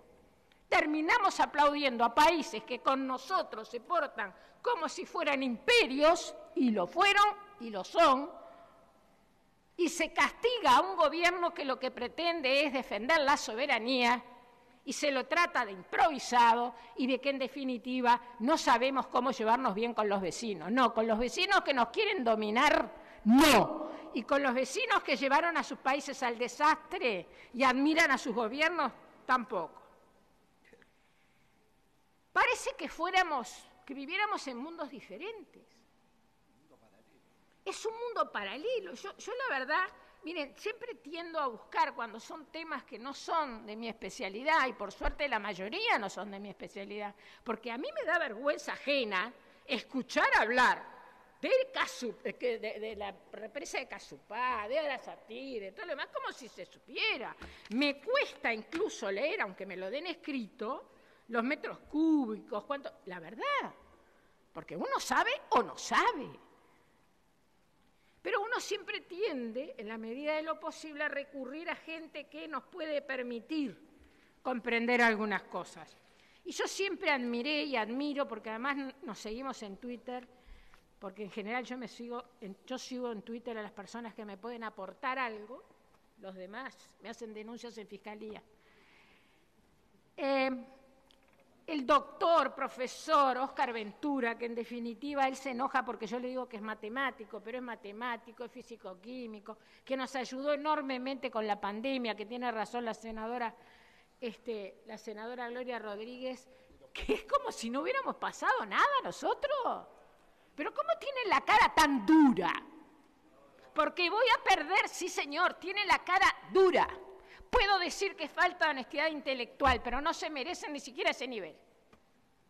No nos terminamos de reponer de una cosa que, se nos, cae, que nos cae otra y pretenden que resolvamos los problemas que no resolvieron. Asúmanlo. Hay un, grupo que integra el profesor doctor, porque además es internacionalmente un consultor, que se llama Buscapleitos. Y él levantó en la cuenta de Twitter, Ventura, un video que yo como se trajo acá el nombre de la intendente de Montevideo, lo voy a usar, no lo iba a usar, Pero como nosotros no somos bobos y acá está la intendente de Montevideo y el intendente de Canelones haciendo campaña política, y por supuesto este tema es motivo de campaña y el que crea que no es así, no nos subestimen. La campaña del gobierno que no está haciendo es la gestión. No hace campaña político-partidaria, gestiona. Gestiona, porque esa es nuestra mejor bandera. Pero la mencionaron, fíjense en ustedes. Video de declaración conjunta, ex ministra Eneida de León, ministra bueno, del, Ministerio de, Medio Ambiente y todo el nombre largo Grantes, 2015-2020, y la ex ministra Carolina Cose Garrido, ministra de Industrias en presidencia 2015. Un video. Dice, yo quiero aclarar, no estamos hablando de ninguna emergencia, dice el actual intendente. Estamos hablando fundamentalmente de una, se estaba refiriendo al agua, ¿eh? de una decisión de poner este tema en perspectiva por parte de la presidencia y naturalmente por Ejecutivo. El nuestro no era. Bien, creo que es fundamental que la población esté tranquila. 2015. Que no hay una emergencia respecto al agua potable. Estamos seguros que en los próximos años está todo bajo control. Entonces nosotros somos culpables porque vamos para atrás. Obvio, yo soy profesora de historia. No tengo el rostro de piedra de integrar el directorio de, OCE, porque como profesora de historia lo único que puedo hacer es hacer historia del agua y no opinar técnicamente y dar manija menos. Lo que sí estamos informando es cómo vamos a seguir actuando para que haya tranquilidad total. O sea, que en los próximos años estamos hablando de los próximos 20, 30 años, estemos absolutamente tranquilos en que el agua potable para el área metropolitana va a estar asegurada. Parece un chiste, porque estoy, transcribimos el video, ¿verdad? Para no perder tiempo. Porque vamos en el camino de la mitigación de los problemas que fueron creados a lo largo de 100 años. Sí, en eso estamos de acuerdo. Son cosas que han empezado en los últimos años en realidad son medidas que se están tomando, lo que sí les aseguramos que vamos profundizando para mitigar estos problemas de tal forma que nuestros bisnietos estén tranquilos. Yo por ahora voy por nietos, pero ni mis nietos están tranquilos. En el otro video, porque además habla mucho, le encanta hablar y figurar, pero estábamos en el 2015, se declaró una reserva de agua potable en la cuenca del Pasupay y del arroyo del Soldado, por lo cual se van a efectuar inversiones más o menos importantes. ¿Qué parámetros exactos? ¿Qué quiere decir inversiones más o menos importantes? Yo no traigo la computadora acá porque tengo cerebro. Entonces no traigo la computadora acá. Hablo con lo poco que tengo de inteligencia que no es artificial. Se declaró una reserva de agua potable en la cuenca del Casupay y del arroyo El Soldado, por el cual se van a efectuar inversiones más o menos importantes para hacer, para, para, hacer represar, hay que hablar en difícil, y poderlo tener como reserva de agua potable, así asegurar a la población de que el agua potable está, está disponible en los próximos años, para mucho tiempo adelante y evitar la posibilidad de escasez o poca agua que produce floraciones. Video 3 es cortito. Lo que nos ha insistido el presidente, supongo que debe ser Vázquez en ese momento, que de, presente nada, sobre todo la segunda presidencia. Después quieren que el, presidente esté en una conferencia de prensa. Acá nosotros trabajamos en equipo. Lo que nos ha insistido el presidente es que este tema es crucial para este gobierno. Menos mal, eso lo agrego yo. No es un tema que se va a dilatar en el tiempo que no se van a hacer proyectos demasiado futuros. Los quiere tener a corto plazo, el presidente, supongo yo. Y en eso vamos a trabajar los ministerios en conjunto para lograr esto. Hagan de cuenta que venga la persona en video. Yo hice una transcripción. Yo, sinceramente, me dan ganas de, si yo tuviera un poco de vergüenza, pido disculpas, de verdad hago autocrítica y digo, bueno, sí, en serio, vamos a trabajar entre todos, como lo propuso el, primer este, ministro de Medio Ambiente y actual senador que tenemos en sala. Eso es falta de vergüenza. No hay otra manera de llamarlo. No hay otra manera de llamarlo. A nosotros nos dijeron de todo. Y nosotros callados la boca aguantamos sabiendo que se está faltando a la verdad. El doctor Ventura me dio en ese relacionamiento, porque yo trato de relacionarme con gente mucho más inteligente que yo, porque para mediocre estoy yo, me dice, Casupá no estaba pronta, faltaba el proyecto de ingeniería y expropiar 3.600 padrones. Vaya si yo conoceré el tema de las expropiaciones, si mi familia lo conoce. Le, produjo un problema de salud gravísimo al actual ministro de, de, Transporte y Obras Públicas enfrentar el desastre que dejaron todos sin hacer con UPM. Claro, el contrato firmado que además era una vergüenza. Porque el tema de las expropiaciones, que tenía un solo notificador el Ministerio de Transporte anterior, ¿saben cómo le decían el rengo? Porque le faltaba un pie. No, si es para Gasalla, ya está, no, pobre Gasalla está mal. Pero podemos decir García Márquez si lo pudiéramos revivir. Porque el problema de las expropiaciones, y yo de esto sí puedo hablar, por, esto, por eso hablo de Casupá, no es decir, es propio este padrón, este padrón, este padrón, este padrón, y hago los expedientes. Es hacer las escrituras. Porque hasta que no se hacen las escrituras, señora Presidenta, que usted es escribana como yo, la propiedad sigue siendo de otra persona. Y además hay problemas de sucesiones, hay problemas de, personas que no tienen descendientes, herencias yacentes. Yo, no, acá como todo el mundo sabe de todo, de repente saben lo que es. Pero usted y yo lo sabemos, y muchos más acá también. Sí, faltaban 3.600 padrones. Y no me muestren papelitos porque son las escrituras las que había que mostrar. Y me refiero a Casupa. Aunque no hubiera habido pandemia y se hubiera hecho en 2021, la construcción hubiera tomado hasta el 2024 eso ya lo dejaron, lo dijeron y el llenado hasta 2025-2026. Ahora no estaría pronta. Casupá está en la misma cuenca del Saltado Lucía, si no hay agua para Paso Sevenino, tampoco para Casupá. En 2016 no le dieron, voy a usar una palabra más académica porque yo con Ventura tengo confianza, no le dieron corte al geólogo Popelka que acá se estuvo este, nombrando porque proponía una perforación del acuífero al Bajo Santa Lucía que costaba 15 millones y hoy nos serviría montones. Nosotros mentimos cuando decimos que el senador, perdón, que el, el ministro Astori, que yo casi todas las sesiones, cuando tengo que reconocer lo que ha hecho para este país, lo reconozco. ¿Paró el ante la arena? ¿Es mentira?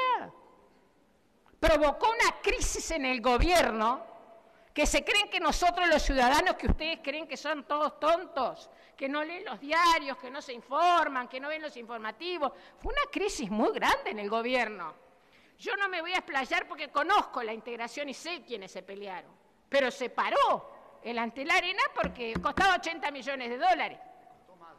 Bueno, está en Fiscalía. Esperemos que Fiscalía actúe rápido como actúa para otros casos. Señora Presidente, la verdad, la otra cosa, no me da el tiempo, pero a mí me resultó muy interesante el artículo de, no puedo decir que soy amigo, pero soy intelectualmente, muy me identifico mucho con Leonardo Haberco, del observador de hace pocos días, porque Leonardo es un investigador de la historia reciente, muy serio, absolutamente objetivo, de esos periodistas que uno quisiera que fueran todos, no operadores políticos como hay un grupo que funciona en forma permanente y sistemática. Y lo llama, y no será porque, porque Leonardo Habercon no sea cuestionador y no haya sido crítico del MLN, fue el primero que empezó a investigar realmente la historia del MLN y tiene varios libros, varios libros. Dice, muy salado, las exageraciones no científicas de Fernández de Huidobro sobre el agua de Ose que nadie atendió.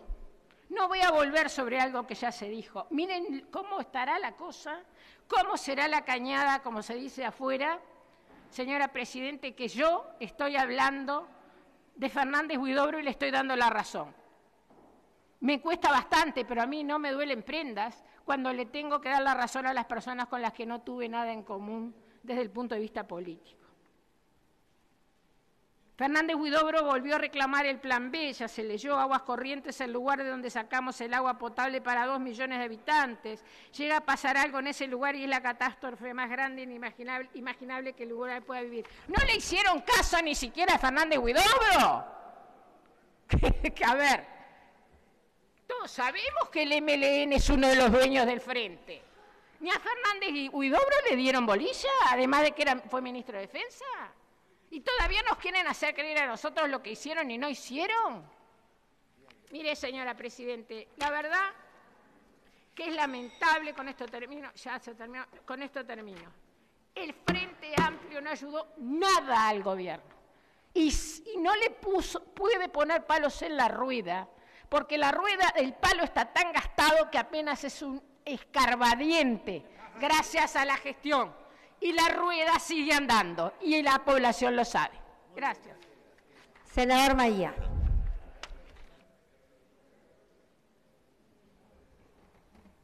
Bien. ¿Puedo decir? Bien, eh, yo solo voy a, voy a hacer una, una corrección. Vos me vas a pedir interrupción, dale. Eh, el autor de lumpenburguesía, lumpenproletariat, es André Gunder Frank. Y no es Tulio Ampedindonqui, sino, acabo, yo me acordaba a memoria, tengo el libro y me hizo ir a, la bibliografía, pero como no tiene nada que ver, como no tiene nada que ver. Estén de acuerdo y lo informan. Después se ponen de acuerdo y nos lo dicen. Continúe, senador. Como no tiene nada que ver, pero absolutamente nada que ver con...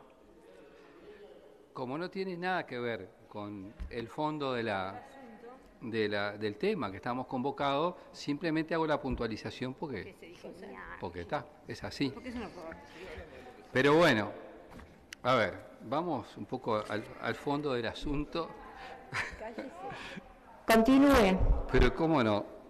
Eh, a ver, vamos a intentar. Primero, luego de algunas intervenciones también me ha quedado claro que hay una independencia muy importante, porque fue dicho acá por algunas intervenciones, entre el Frente Amplio, la fuerza que integro, y los movimientos gremiales.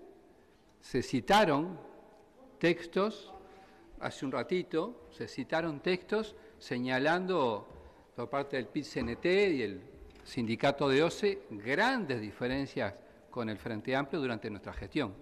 Por lo tanto, eh, las pruebas no las trajimos nosotros, no decimos lo contrario públicamente, se trajo a sala por el oficialismo, dato de la realidad. Dicho esto, que quedó ya estaba recontra demostrado, pero fue citado hace un ratito acá en sala. Eh, la pregunta es,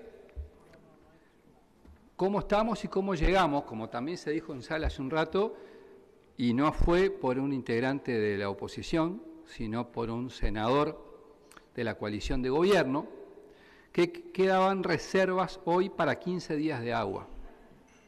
Así se dijo aquí en sala, y, además yo comparto el tono de intentar buscar una mirada que tenga clave de futuro, porque sobre todo lo hecho hacia atrás no hay como volver. Por lo tanto, intentar mirar hacia adelante me parece una, buena cosa, eh, señalando obviamente cada quien eh, lo que encontramos de errores o lo que encontramos que falta hoy por lo que se hizo dejó de hacer. Pero me parece que la clave está en intentar mirar para adelante, dejando obviamente algunas constancias de cuestiones que nos parecen fundamentales. A ver, primero, que la sociedad uruguaya tiene derecho a saber por qué llegamos a este estado de situación en que están las limitaciones que están y que digamos lo que digamos, esta noche cuando abren este, una canilla para tomar agua o mañana va a pasar exactamente lo mismo, va a estar con problemas para el consumo cotidiano y no va a ser una opción para quien no puede pagarlo, no va a ser una opción. Eso es otro dato de la realidad. Entonces, acá tenemos que decirle a la sociedad uruguaya en su conjunto cuál es la verdad, cuál es el estado de situación hoy con transparencia, dando datos cotidianamente, exponiendo el estado de situación. Y hay que decirlo con total cristalinidad, con total claridad. Eso nos va a ayudar a que la sociedad, más allá de estos primeros avisos que empezaron en la campaña bien público, que por suerte empezaron ahora, porque empezaron ahora, bueno, ojalá después tengan mayor difusión y nos ayuden, como un debate de este estilo, a poder generar más conciencia entre todos nosotros del estado de situación de gravedad que estamos, porque es una situación grave, es una situación grave y además valoro eh, algunas de las intervenciones públicas que ha hecho el presidente de OCE, eh, mostrando sensibilidad y preocupación con el tema, más allá de lo que nosotros entendemos que se dejó de hacer o la falta de reacción en los últimos, se dejó venir arriba, para nosotros hay cosas que la gente tiene derecho todas las cosas, pero fundamentalmente en esto que hacen a su vida cotidiana, tienen derecho a saber. Y eso le hace bien a la, digamos, a la sociedad en su conjunto, a la calidad democrática, a la forma de gestionar. Porque es muy difícil, es muy difícil dejar, de, no se puede entender con claridad cuando, por ejemplo, y acá traigo algunos datos que eh, planteaba el senador Rubio en su intervención. Cuando el primero de marzo se sabía que había unas reservas en Paso Severino para 73 días, si cuando asume el presidente de OCE había para 60 días, si en 16 de junio del año 20 había para 51 días, si después, como se señaló bien cuando asumió el hoy senador Peña, pasa 112 días, pero el 26 de abril pasa 19 días y el 2 de mayo pasa a tener 16 días de reserva en Paso Severino, estamos hablando de una situación grave que tenía una proyección muy importante y que no hubo una capacidad de respuesta ni con la información a la sociedad para que se tomaran medidas antes, ni hoy con respecto a lo que podía ser la perspectiva. Porque acá hay un dato objetivo. ¿Cuál es el dato objetivo? El dato objetivo es que se dejó por el camino lo de Casupá, que no se comenzó aún la opción que se tomó por Arasatí, y por lo tanto no estuvo ni una ni esta otra. Y no habiendo ni una ni otra, está la situación del agua como está y la gente padeciendo lo que pasa. Y ese es el dato objetivo de la realidad. Se, por las razones que fuera, se dejó una propuesta que tenía encaminado el financiamiento, estudios y demás, y se hizo por otra opción. Yo me decía, bueno, esa opción estaba, digamos, como decía la consigna, estábamos preparados y estaba pronto y se alargaba rápidamente, bueno, quizás hoy teníamos otra perspectiva, pero hoy, hoy no hay ni una ni otra. Lo único que está es el problema objetivo de quien tiene que consumir porque no tiene más remedio el agua que está hoy con una vieja consigna. Yo me acuerdo que desde mi más temprana infancia había una definición que el agua de OCE era insípida, incolora e inodora. Quienes tenemos algunos años nos acordamos de esas tres palabras. Bueno, eso hoy no está. Así como lo estamos viendo, no está. Y ese es el problema objetivo. Se podrán buscar todas las responsabilidades del pasado, se podrá buscar todo lo que se quiera buscar, pero eso, que era una identidad, como bien puso el ejemplo casi este, en términos educativos bareliano que propuso, dijo el senador Rubio, eso que es una identidad de las cosas que te construyen, la identidad histórica del Uruguay, Eso hoy se perdió. Ojalá las medidas que hoy anuncian o que anunciaron ayer se pongan en, en marcha rápido, que den buenos resultados y que esto se revierta. Es lo que queremos absolutamente todos. Y es por esa razón que más allá de todas estas cuestiones que nosotros entendimos que se veían venir, hay que mirar para adelante y dejar también, como dije hace un ratito, algunas constancias. Yo no las iba a hacer, o por lo menos no tenía idea de hacerlo, pero como parece instalarse de que no había sucedido o no sucedió nada durante todo este tiempo, yo voy a señalar algunos datos que son fundamentales. En primer lugar, en las señaladas 15 años de la administración anterior, no lo trajimos nosotros, lo trajo el gobierno, tenemos 1.300 millones de dólares de inversión. Agreguemos en qué. Voy a desglosar para que la gente sepa efectivamente lo que estamos hablando. Estamos hablando de planta potabilizadora de aguas corrientes, ampliación y bombeo de aguas, abajo 40% del abastecimiento de sequía en 2023, 55 millones de dólares. Sexta línea de bombeo, 70 millones de dólares. Planta potabilizadora en 33, 9 millones de dólares. Planta potabilizadora en Durazno, 11 millones de dólares. Rehabilitación, planta de agua potable en Paysandú, 9 millones 500 mil dólares. Inversiones, agrego, filtros y obras, usina de Laguna del Sauce Maldonado, 15 millones de dólares. Sustitución de tuberías y otras obras reducción de agua no, no contabilizada, 150 millones de dólares localidades comerciales de 361 en 2008 a 427 en 2019 y lo que se denominan los sistemas de pequeñas localidades y escuelas rurales de 1 a 312. Y agrego, las inversiones en saneamiento pasaron de, 1985 a 2004, que había 6.400.000 dólares invertidos, a un promedio por año de 37 millones de 2005 a 2019, con un total de 558 millones de dólares invertidos en saneamiento. Yo le voy a pasar un solo dato. Si uno va en el departamento de Canelones a lo que era hace unos años la ciudad de la costa y lo que es hoy, faltará mucho, faltará bastante, pero que hay un cambio sustancial para la calidad de vida de quienes están ahí, para la para el valor de las propiedades quien invirtieron hace mucho tiempo, eso es, eso no puede negar nadie. Eso no lo puede negar absolutamente nadie.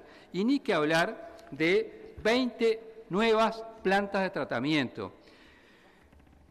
Tratamientos de aguas residuales en Canelones, en Durazno, Silda Polié, Melo, José Pedro Varela, Villa Rodríguez, San José, eh, Maldonado, Artigas, Lascano, Ciudad de la Costa y Pando, Piriápolis, Pueblo Rizo, Carmelo, Vergara, Seguá, Salto, Fray Marcos, San Ramón, podríamos seguir.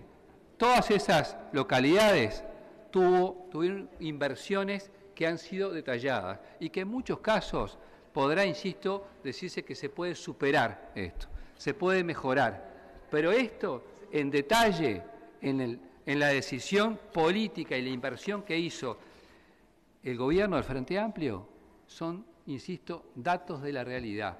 Son datos objetivos, son cambios de la calidad de vida de las personas que viven en esas localidades que antes no lo tenían. Y ojalá, y ojalá las soluciones que se proponen ahora sean rápidas, sean eficientes y la gente pueda rápidamente volver a la calidad de agua que históricamente tuvo el Uruguay, porque de eso se trata. Y cuando decimos cuando decimos que estamos con la mano tendida, lo reafirmamos. Pero ¿qué significa en términos concretos, desde el punto de vista político, la gestualidad de estar con mano tendida? Pues bien, por un lado, la disposición de esta bancada del Frente Amplio, de senadores y seguramente, por supuesto, la de diputados, de poner sus votos a disposición del país para toda medida urgente que suponga salir rápidamente de este tipo de situación. Se pide un, tratamiento urgente de algo, el Frente Amplio va a estar acá acompañando una decisión que el gobierno impulse en esta materia. ¿Qué otros lugares tenemos para resolver? Por supuesto, en los lugares más afectados, Montevideo y Canelones, y vaya si hubo propuesta. Acá hubo 20, 20 medidas que se propusieron al mismo día. Podrán ser buenas algunas, otras mejores, otras peores, pero hay 20 propuestas de solución. Y si hay un camino de propuestas, podrá legítimamente el gobierno decir, no me sirve ninguna.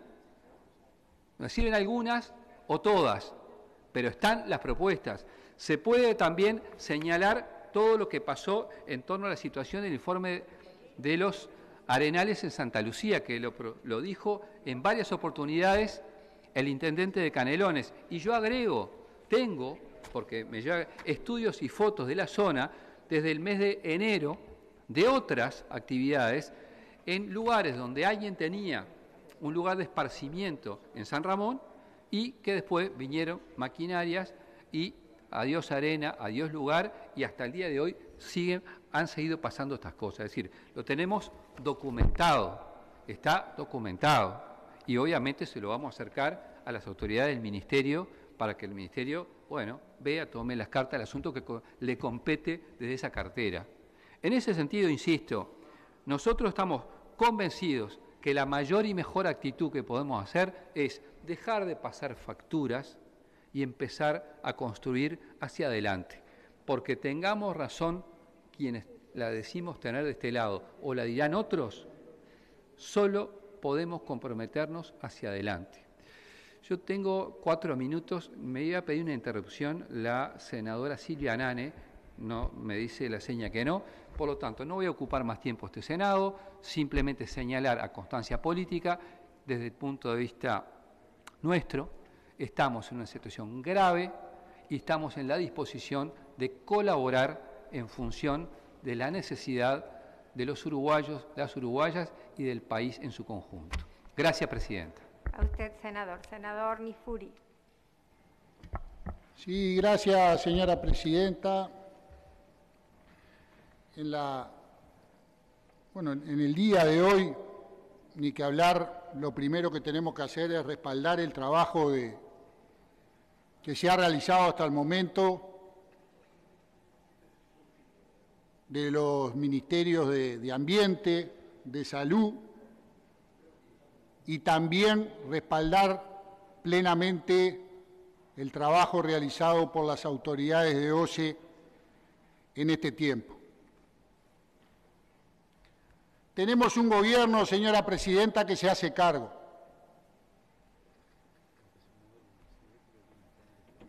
Tenemos que ver el contexto.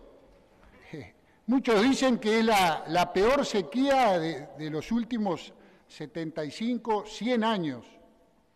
Yo tantos años no tengo y mucho para atrás no puedo ir. Ahora, yo vivo en las piedras toda la vida y en estos 51 años que yo tengo, nunca me había pasado de pasar por el canelón grande y no ver agua correr. Está seco.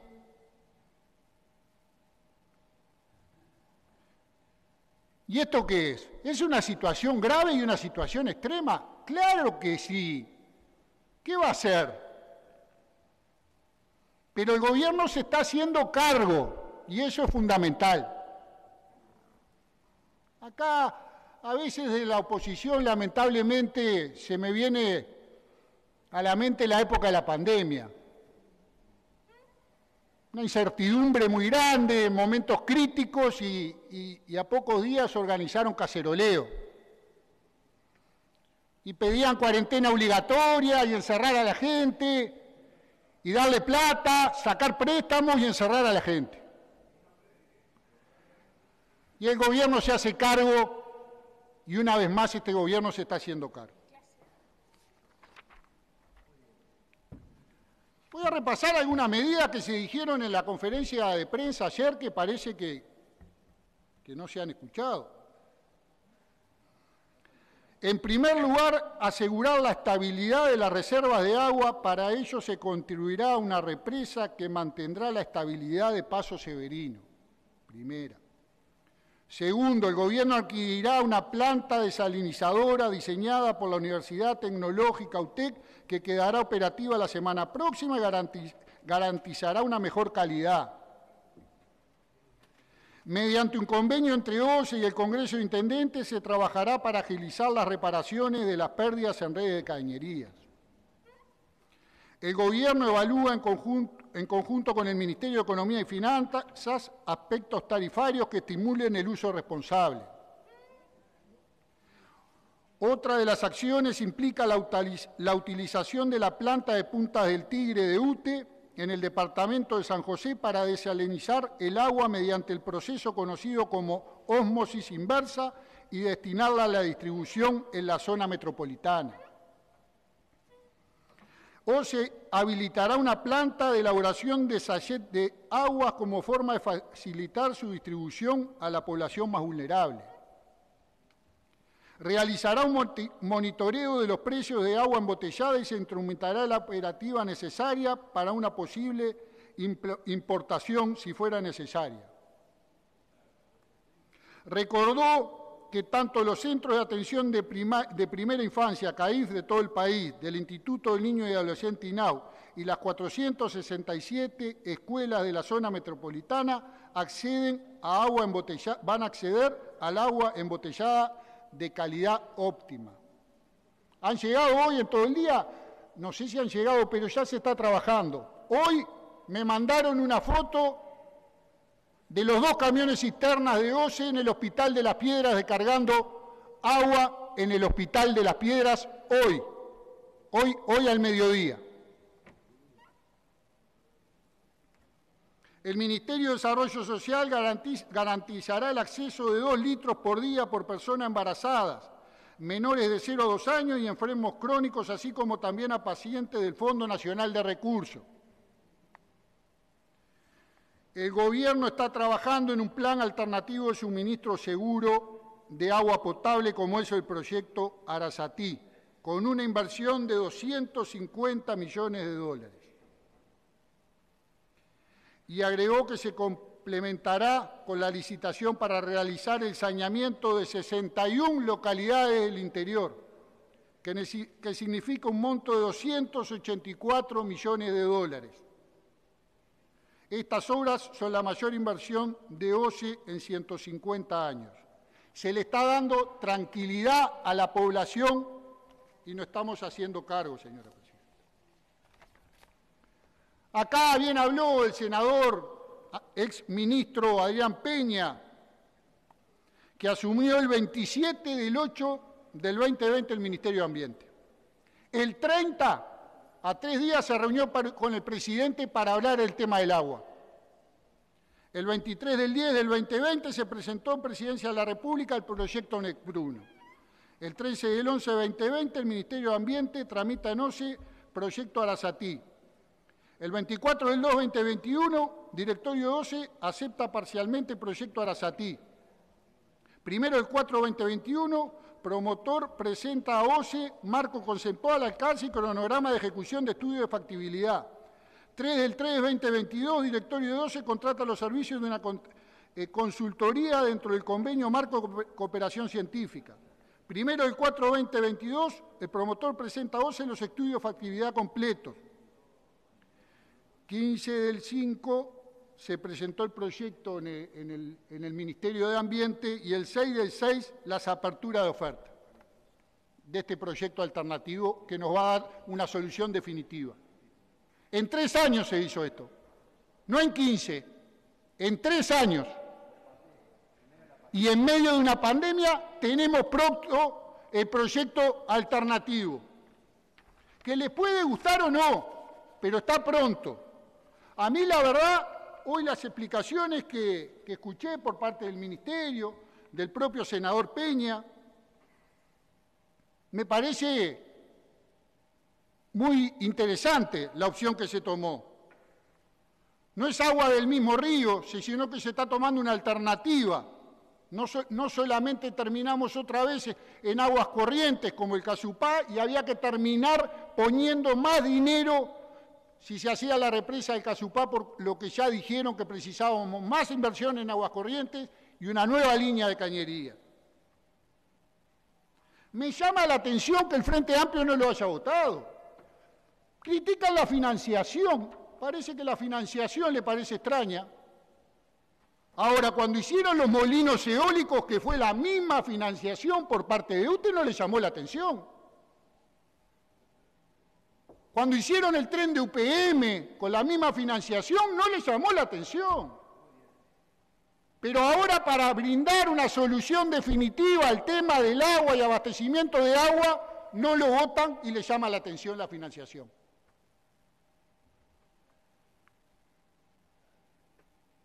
La verdad está claramente dicho por qué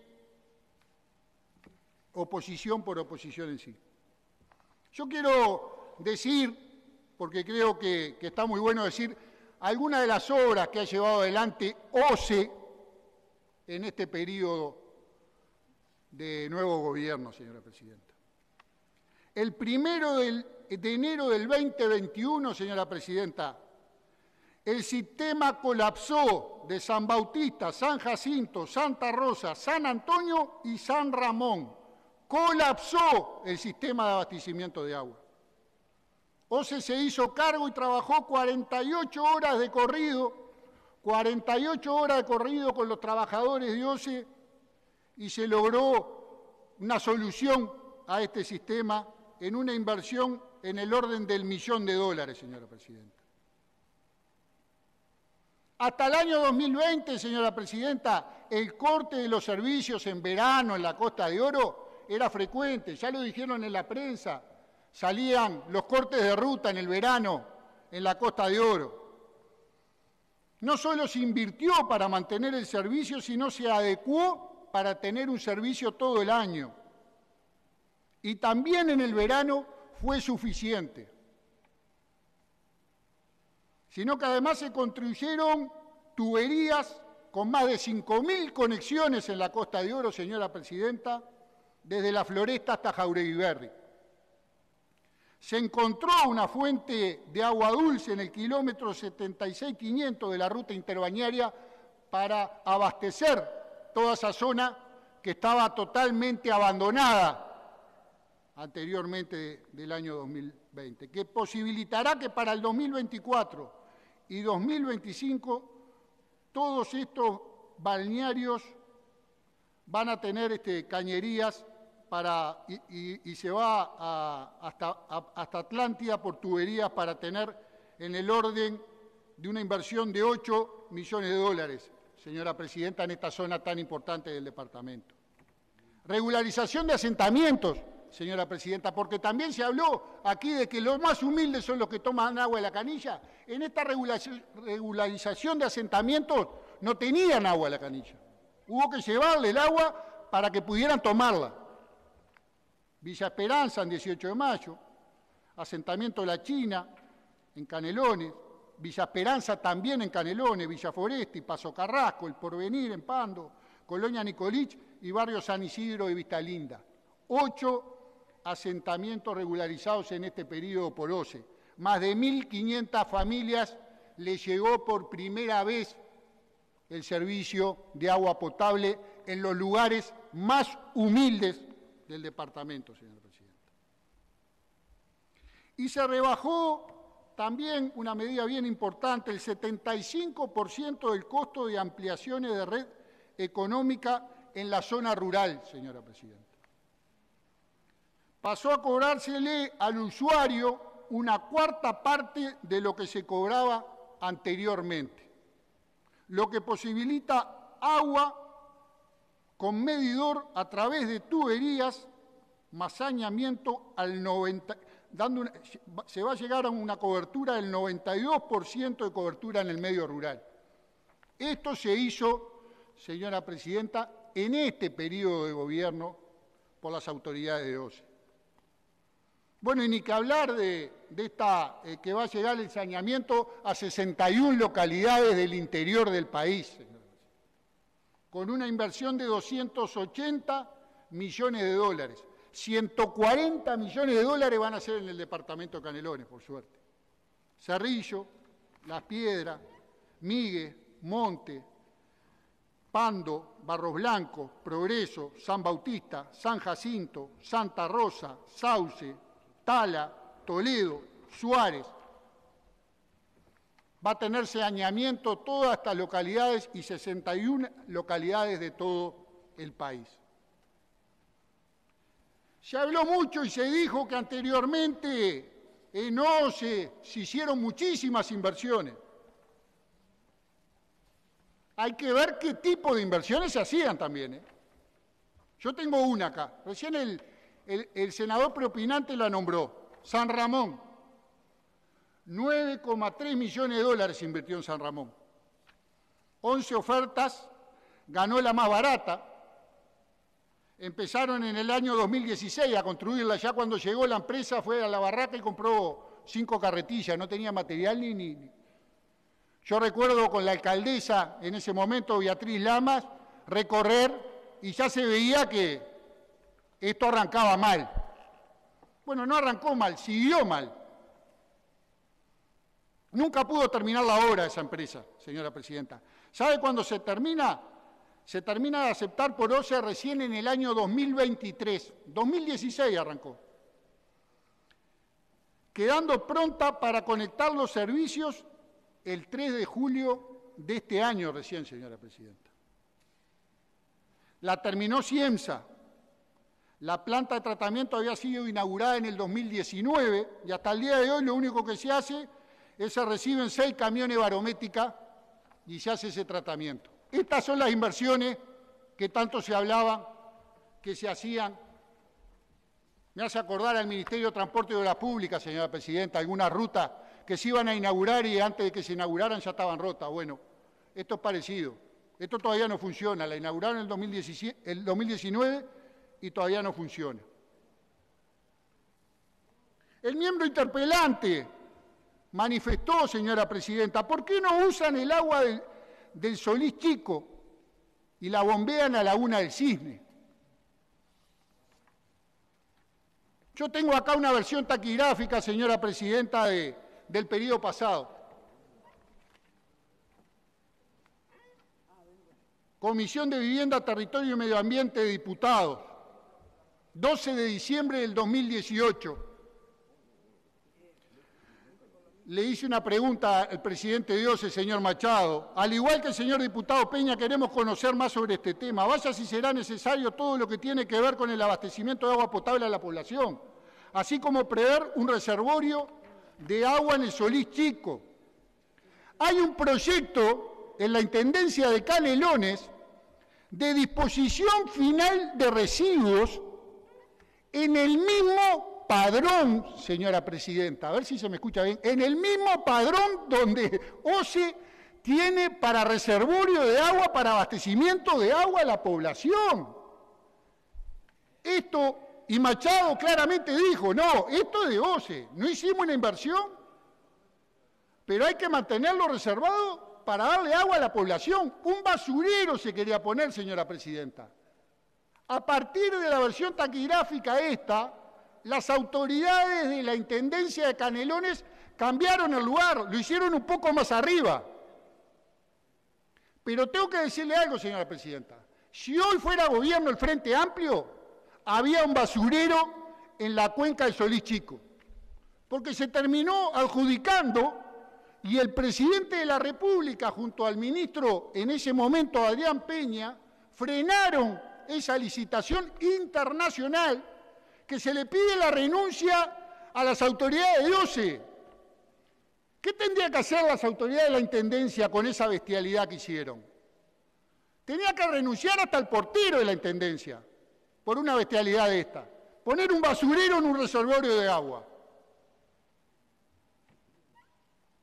Y acá se pide la renuncia de las autoridades de OCE. Por favor. Capaz que querían ir a sacar la hora de Solís Chico y, tenía terrible basurero ese gobierno. Por suerte se frenó y se está trabajando en un, en un proyecto mucho más sustentable y no contaminando reservorios de agua futuro que puede tener el país, señora Presidenta. Por todo esto, hoy más que nunca respaldamos a todas las autoridades, tanto del Ministerio de Ambiente, de Salud y las autoridades de OCE, porque se están haciendo cargo en momentos difíciles, señora Presidenta. Y le estamos brindando certezas a la población en momentos graves y en momentos difíciles. Gracias, Presidenta. Tiene la palabra la senadora de la Ventura. Gracias, señora Presidenta. En realidad, en todo el transcurso esta interpelación, desde la coalición de gobierno, lo que hemos visto es que ha estado todo perfecto que aquí no hubo ningún error, ninguna omisión, nada que reprocharse ni que autocriticarse. No se asume que han habido decisiones erróneas.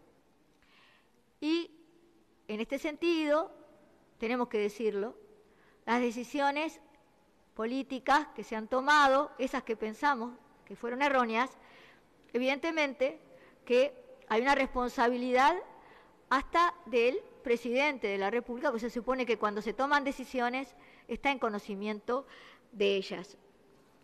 Y nosotros decimos, hubo decisiones erróneas, y vamos a decir algunas.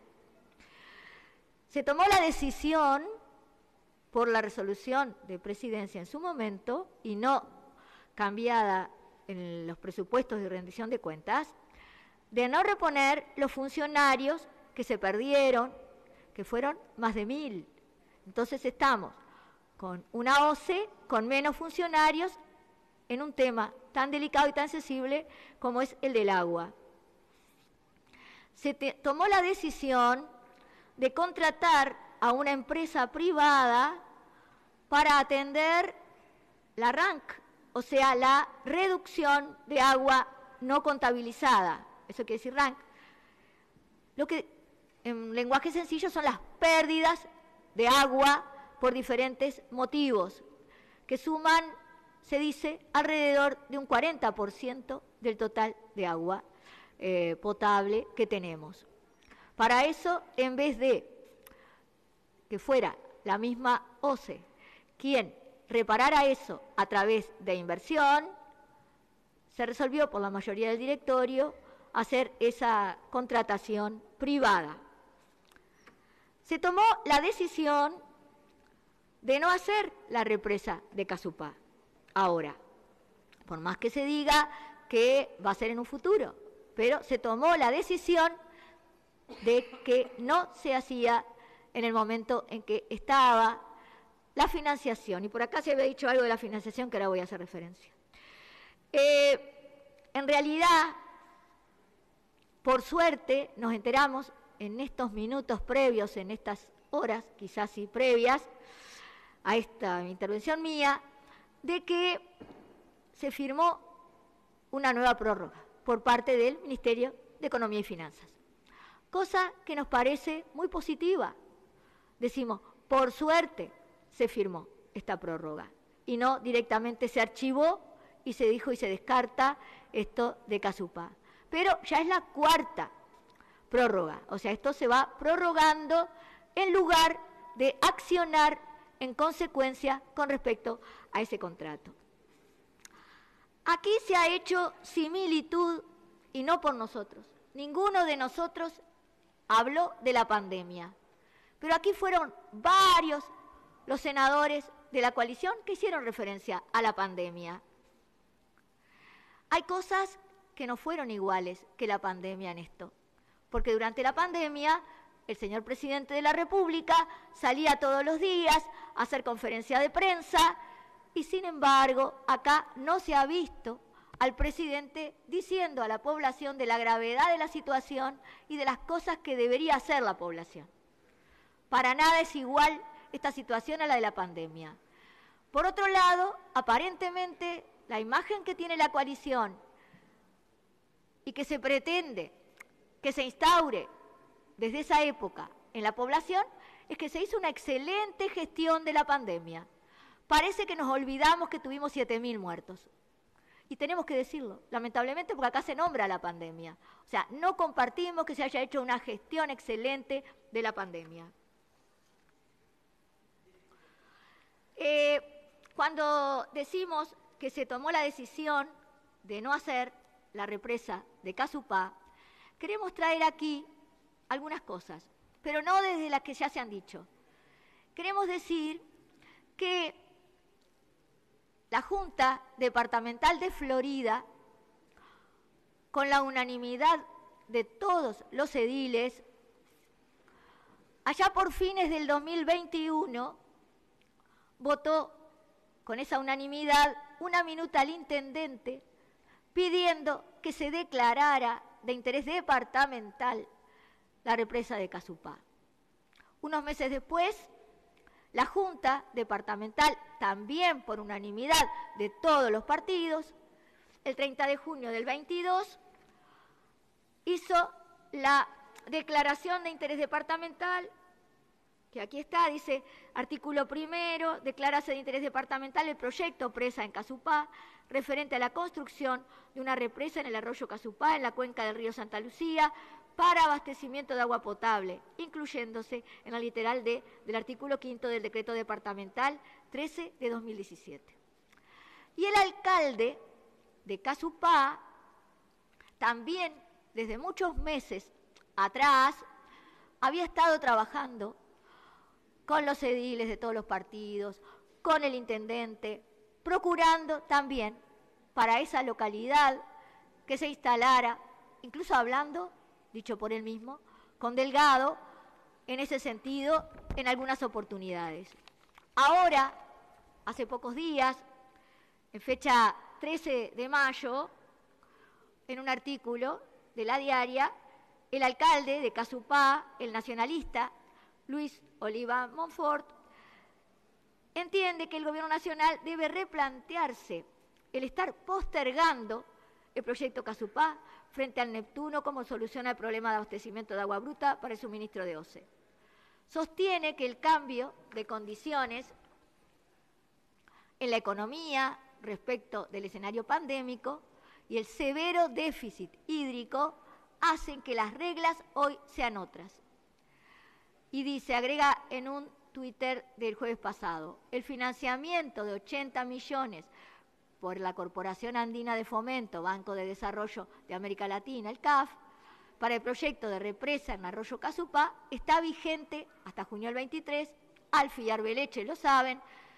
Tomar deuda es necesario para construir esta obra y era el principal motivo para postergarla. Ahora cambió todo, escribió Oliva. Eh, él hablaba de que primero había sido el escenario económico, hoy nos encontramos en una economía con mejores números, y podemos permitirnos evaluar una inversión de ese estilo. Segundo, tenemos una seca que es histórica. Con este nuevo escenario, con estas nuevas reglas, ¿no conviene echar mano también a Casupá? Bueno, esas son palabras del alcalde Oliva de Casupá. Nosotros queremos decir que el Frente Amplio siempre va y lo digo siempre porque en los años que estuve en la Junta de Florida, lo decíamos también siempre, siempre va por el lado constructivo cuando las cosas que se presentan para ser votadas por los adversarios políticos son buenas. Y el Frente Amplio siempre ha ido también por el lado propositivo, constructivo. El 2 de febrero de este año, se invitó a comparecer a la comisión permanente al ministro de Ganadería, Agricultura y Pesca por la situación de emergencia decretada ante la situación de sequía, que el gobierno había decretado esa emergencia en septiembre del año pasado. En una sesión con buen clima, como fue reconocido por el propio ministro y también por los senadores de la coalición, el Frente Amplio propuso allí 12 medidas que podríamos leer, ahí la tenemos, pero me parece que no vale la pena. Pero sí en el sentido de que hicimos propuestas. Hoy también el Frente Amplio hizo varias propuestas que nuestro compañero Enrique Rubio presentó en su intervención. Esto para dejar constancia, porque siempre eh, se nos dice que ponemos palos en la rueda. También la misma actitud constructiva tuvieron los intendentes de Montevideo y Canelones cuando concurrieron a la invitación hecha desde Presidencia de la República. Lamentablemente el presidente tampoco estuvo presente allí, pero los intendentes tuvieron esa actitud y también presentaron propuestas. Queremos hacer referencia a algunas de las cosas que se dijeron por parte de las autoridades aquí presentes, pocas, no, no vamos a hacer referencia a muchas. Vamos a decir que eh, se dijo por parte del presidente, señor presidente de OCE, eh, no vamos a mirar el dinero restringiéndonos, era la palabra, por cosas que son importantes. Entonces preguntamos, si era eso así, si no se iba a mirar el dinero, ¿por qué entendieron que Casupá no era necesario? Porque creemos que es realmente el motivo, pero se dijo otra cosa.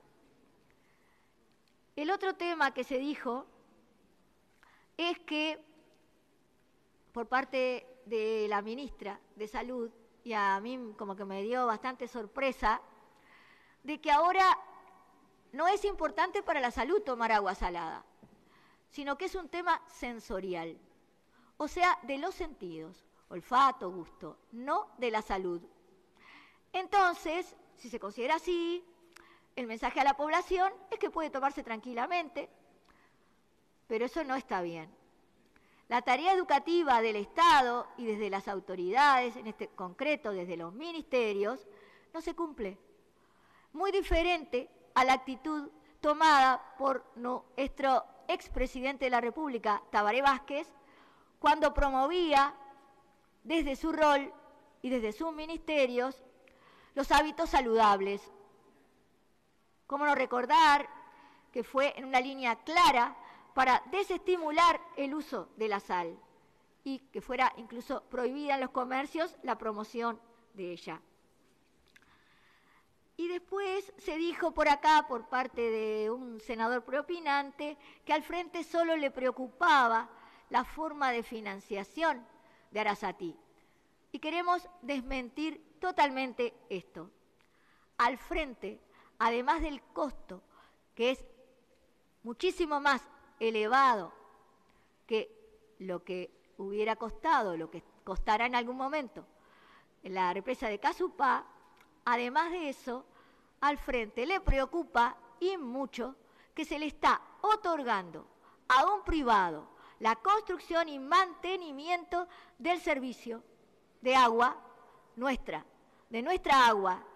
Y eso es pérdida de soberanía.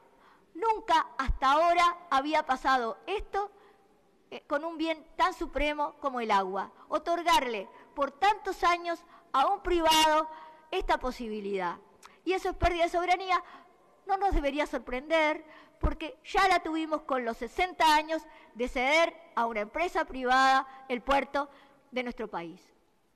Eh, yo quedo por acá, señora presidenta, pero realmente creemos que, más allá de agradecer la presencia de las autoridades, las preguntas en realidad no fueron respondidas a nuestra satisfacción.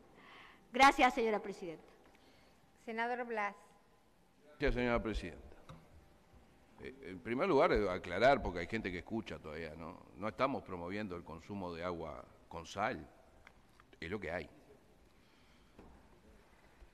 Ruido, permanentemente ruido. En los momentos de crisis no hay nada peor que el ruido. En los países serios, en las crisis, las autoridades hablan, el resto repite el mensaje de la autoridad y luego juzga. Así pasaba también en la pandemia. Todo se discutía, todo mensaje terminaba desvirtuado. La gente se confundía. ¿Por qué? Porque era el cuestionamiento permanente. Y está bien que la gente cuestione, pero los que tenemos responsabilidad con R mayúscula, o cierta capacidad de dirección hacia la gente, tenemos que tener otro tipo de responsabilidad y no apostar al ruido de todo sirve si suma, y mire qué paradoja, agua para mi molino en tiempos de falta de agua. Y ruido es lo que ha habido con todo este tema. Y ese ruido genera un estado de dramatismo que termina generando psicosis en la gente, miedo, alerta donde no debe haberla. Una cosa es la precaución, otra cosa es el miedo, una cosa es la capacidad y la responsabilidad que tenemos hacia la sociedad y otra cosa es la irresponsabilidad de meterle miedo a la sociedad. Irresponsabilidad. Acá vivimos hasta la angustia de un pobre perro que por dos días no consiguió el agua y yo quiero que me cuenten qué pasó al tercer día.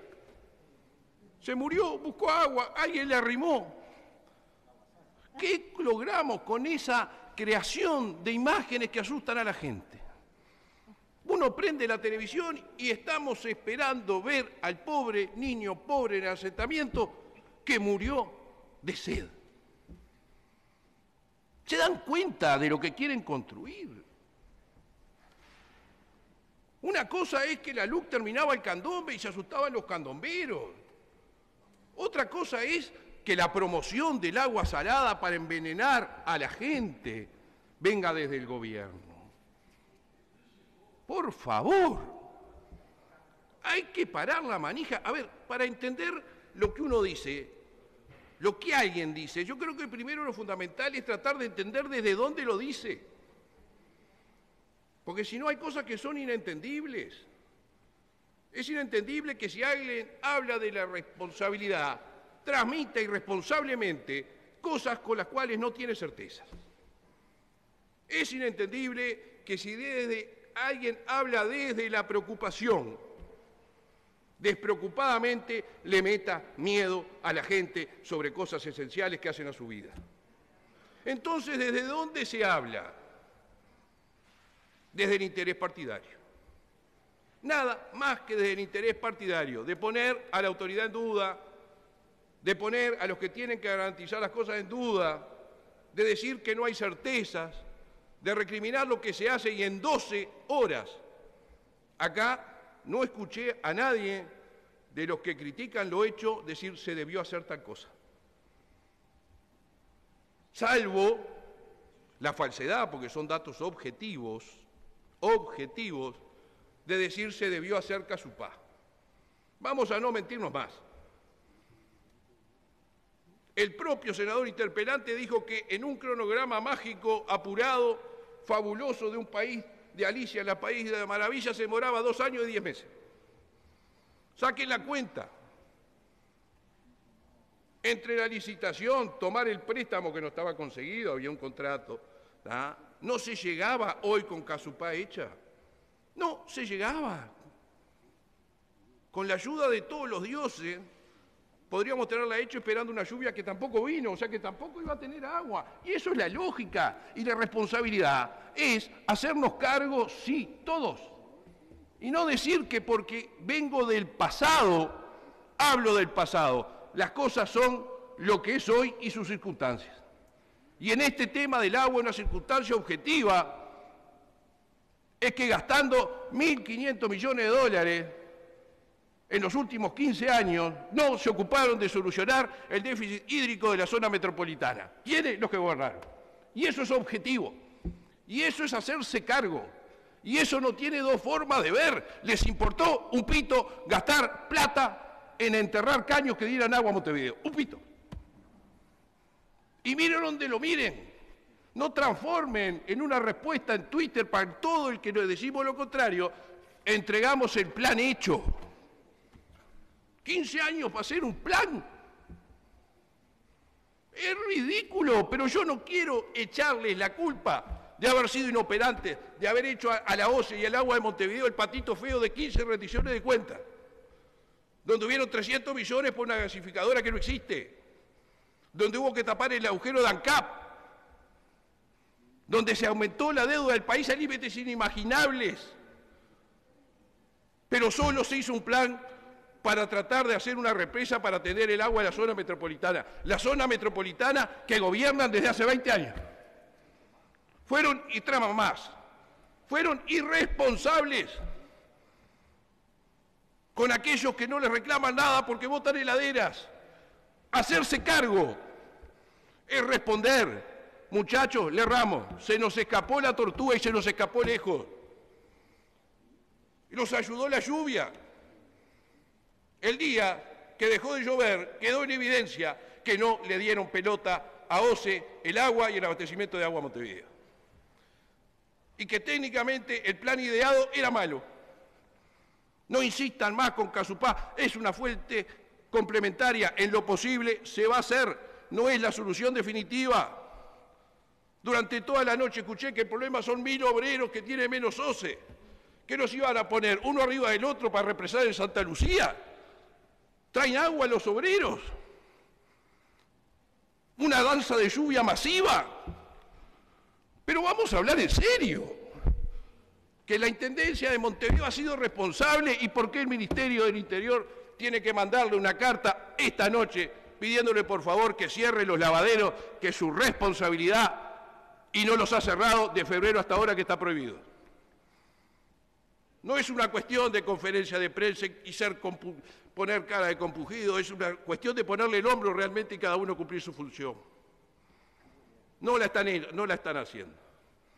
No es el drama, no es el cine, no es agarrar cualquier circunstancia y ayudar a asustar a la pobre señora que no sabe si tomar o no tomar un mate.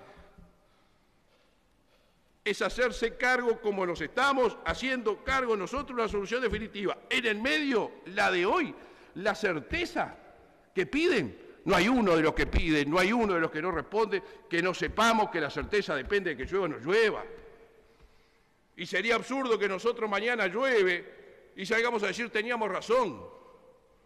Tan absurdo como que mañana no llueva y salgan a decir qué desastre el manejo. El manejo de la lluvia le escapa al Frente Amplio, le escapa al Partido Nacional, a, Cabildo Abierto, al Partido Colorado. Les escapa. Y esto depende de la lluvia. Y para que no dependiese de la lluvia, podían haber tenido en los 15 años de gobierno alguna idea distinta que hiciese que no dependiese nuestra capacidad hídrica solamente de la lluvia. No la tuvieron. No la tuvieron. Y no es echarle culpa, no es, es responsabilidad. La culpa y la responsabilidad son cosas distintas no son culpables, no tuvieron la capacidad de resolverlo. Y hay que hacerse cargo de eso. Nosotros nos hacemos cargo de asegurar que haya agua para la gente. Y si mañana no tenemos la posibilidad de dar agua bebible a través de la red, porque la red depende precisamente de las obras que están hechas, no de las que soñaron o de las que no hicieron, aseguraremos la posibilidad de que de otra forma llegue agua a la gente. Pero en el medio lo que pedimos es que no asusten más a la gente que le da miedo criar su bebé, que le da miedo atender ese perro que Rubio no solucionó, ¿ah? con cosas que no deben dar miedo, que si es potable, que si es bebible, que estamos envenenando. La autoridad máxima de salud pública del país ha determinado claramente que no se envenena. Y no entremos en juego. ¿Cómo? ¿Es el gusto? ¿Es el sabor? ¿Es la presión? No, no envenena. No envenena. No sean irresponsables de decirle eso a la gente. No metan miedo. No pueden pretender hacer de cada hecho que sucede en el país la última catástrofe. No pueden. No pueden poner la soberanía en cualquier chorrito de agua en cualquier línea de teléfono. La vida de la gente en una conferencia de prensa. El envenenamiento de la gente en usar agua salada. No digan más que hay sal en el agua. Acabo de decir que no estamos escuchando a Tabaré porque le ponemos sal al agua que le da para la gente en la canilla. Por favor. Por favor. Es el Senado de la República por lo menos la responsabilidad de ser honesto intelectualmente con uno mismo, con lo que sabe que está mintiendo, porque está todo bien. Cada uno tira para donde quiera. Pero la mentira y el discurso requiere una lógica que resista el mínimo análisis. Si me vas a hablar del perro perdido, decime qué pasó al tres años. Se envenenó el perro. Se tiró por la... se suicidó. Lo llevaron al charco a alimentarse. ¿Es la historia de este perro o son los miles de perros de Montevideo? Es otro tema. Limiten. Tengo gente en Maldonado que me llama para decirme que el agua está salada. Miren que el resto existimos, no tenemos problema. Están comprando agua en bidones que hace falta acá, en Maldonado, en Florida, en Artigas, porque dicen, el agua del Uruguay, que eso es lo otro, sepamos que hay fuentes de agua suficientes para que trayéndolo de otra manera, evitemos que ese perro siga sin tomar agua. Y con el perro la cantidad de niños de los asentamientos y lo de las escuelas. Digo, tenemos agua, no tenemos forma de traerla por red a Montevideo porque no se hizo un sistema para suplementar, para complementar aguas corrientes. ¿Cuándo no se hizo? Cuando gobernó Frente. Y eso es un hecho inobjetable. Eso es un hecho que los miles miles de millones de dólares que nos han mostrado acá, establece claramente que no se invirtió en eso. 55 millones de dólares en arreglar cuenta corriente, antes que me lo quieran decir, yo escuché. ¿Está? ¿En 15 años? ¿Está? No, cuando termine. En 15 años no hubo la otra inversión. No les interesó, no les preocupó y ese es el país que agarramos. Y no nos convenció una propuesta que hoy también sería efectiva, aún estando hecha. Estamos en otra propuesta. Y lo estamos haciendo con la responsabilidad que corresponde a un gobierno serio que ve y observa lo que recibió, que no es moco de pavo, pérdidas millonarias en la red, 400 millones de dólares en deuda, porque acá se habla de deuda desde un lado como si no existiera, estaba, estaba financiada. financiado es tener la plata en el bolsillo. Había la posibilidad de pedir un préstamo que también, si no me acuerdo mal, cuando tomamos el gobierno la capacidad de toma de préstamo para no perder el grado inversor estaba al límite. En estos tres años que no hicimos responsable de nada, subió tres veces la nota. Hoy es la más alta del Uruguay. Y en parte de eso fue de dejar la irresponsabilidad de tomar préstamos para hacer cualquier cosa, o lo que es peor, para no hacerla. Y a los pilotes le de la plata para el que diga que estoy diciendo cosas que no, que no son verdad. ¿Ah? Capacidad de crédito, la idea de endeudarse con la que solucionaban la pandemia, es decir, el pedir lo que no se puede. Sube la harina por la guerra, piden pan barato. Cerrábamos los teatros por la pandemia y pedían trabajo para los artistas. No había un peso en el mundo y pedían salario universal. Ahora hay sequía y piden agua, pero muchachos, es tan lógico la tabla del 2 de la más simple oposición política irresponsable que llega un momento que cansa. Cansa, realmente cansa porque lleva a tratar permanentemente de burlar la inteligencia de la gente de burlar la inteligencia de la gente. Es momento de responsabilidad. Es momento de abandonar el ruido, de que hablen las autoridades y si mañana le erran, pero que el mensaje le llegue claro a la sociedad, entre todos le arrancamos la cabeza al que le erró. Pero silencio, un mensaje único, la prudencia y permitir que la gente tenga cautela y no miedo y la certeza de que entre todos en este país siempre se encontraron las soluciones. Y si no llueve, y si el agua se termina, la que llega por la red, entre todos vamos a tener una solución. La de más o menos, la mejor, la peor, la que me gusta a mí pero no te gusta a ti, puede ser, pero entre todos cuando pase.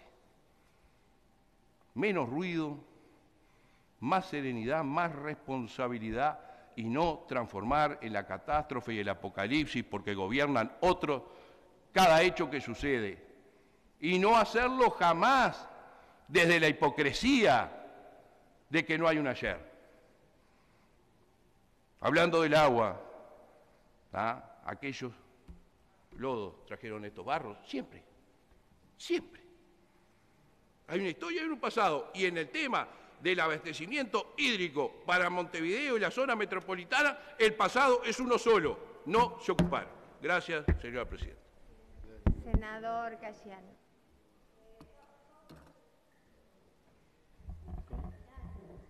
Gracias, Presidenta. Eh, yo no, iba a hacer uso de la palabra porque en realidad en un momento hubo gestiones de varios integrantes de, de, este, de este Senado justamente para achicar la lista de oradores y en aras de contribuir muchos de los senadores del Frente Amplio nos borramos. Luego eso no se cumplió.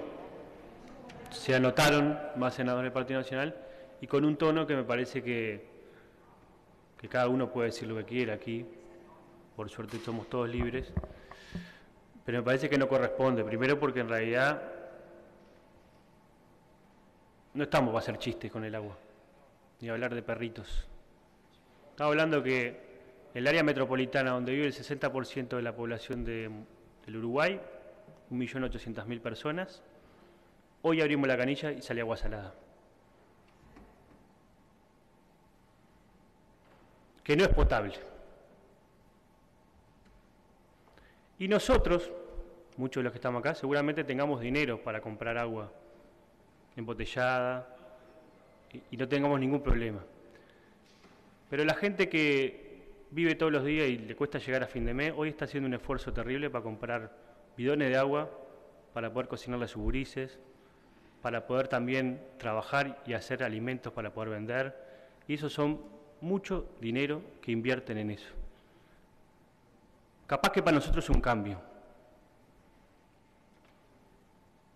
pero para la gente que la está sufriendo no. Entonces hacer ese tipo de, apreciaciones fuera de lugar, fuera de tono, fuera de tema, me parece que no corresponde. Primero porque no fue el talante y la seriedad con que se planteó esta interpelación. A nosotros nos hubiera encantado que esta interpelación existiera. Nos hubiera encantado que el agua en Uruguay, por lo menos en el área metropolitana, hubiera seguido siendo potable. Nos hubiera encantado que la conferencia de prensa que se dio ayer en Torre Ejecutiva a las apuradas se hubiera dado el 9 de marzo cuando se tomó esta medida y cuando hoy recién nos informaron que se estaba hablando de tomar esta medida. Porque antes Teníamos a la vicepresidenta de OCE diciendo que había que dejar de comprar Coca-Cola y tomar un poquito de agua para, poder llevarla lo más bien los temas. Teníamos al presidente de OCE diciendo una cosa un día, otra, cosa otra. Teníamos al ministro de, Ambiente diciendo un día una cosa, otra cosa otra. Teníamos al Ministerio de Salud Pública diciendo un día una cosa y otra, otra otra. Ojalá, ojalá nos hubieran dicho la verdad en tiempo y forma. No lo hicieron. No lo hicieron.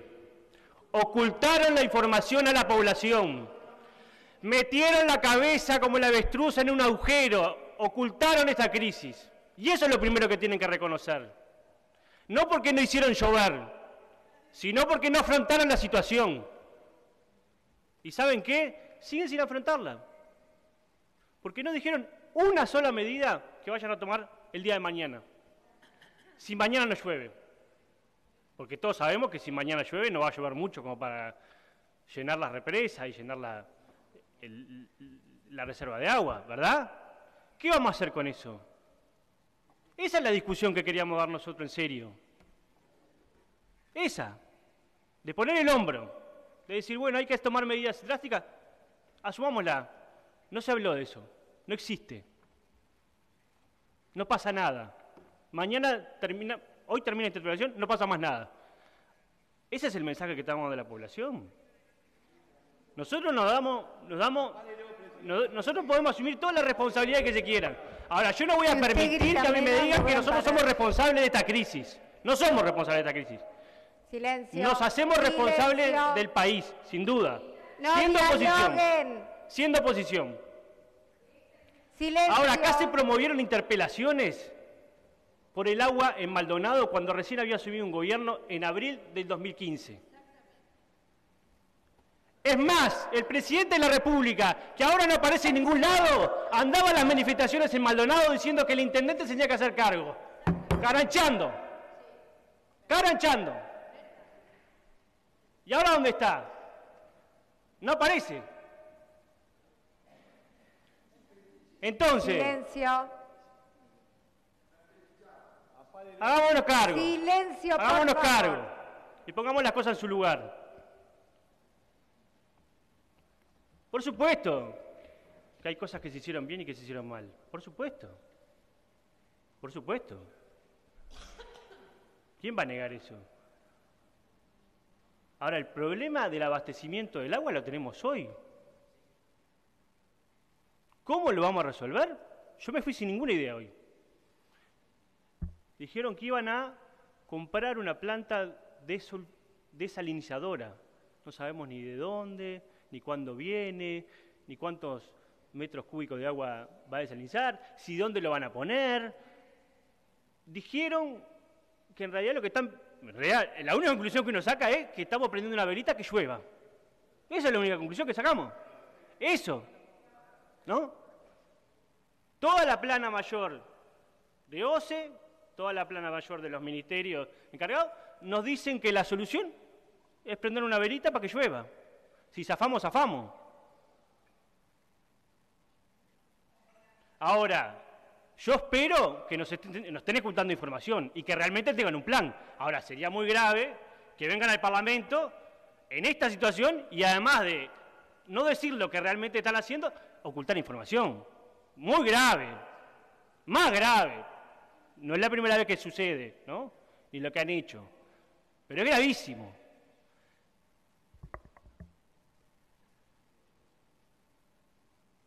Yo sobre, sobre la- los temas estructurales podemos discutir horas. A mí me encanta este tema, ¿eh? Me encanta. No soy un conocedor de estos temas. Pero tanto el, pro- el proyecto Arasatí como el de Casupá tiene sus pros y sus contras. Por algo hace 50 años que se discuten. No solamente porque no hay recursos. Porque algunos son, tienen una importancia y sobre todo una posibilidad de desarrollarse mejor y otras que no. Ahora, la OCE, no el presidente de OCE que después de declarar en varios medios de comunicación diciendo que el proyecto que se tenía que hacer era de Casupá, después leyó en su despacho y se dio cuenta que no se podía hacer porque no tenía una tubería bien, ¿no? Eso es lo que dijo acá. Esa fue la aplicación que dio acá en el Parlamento Nacional, en el Senado de la República. La OCE,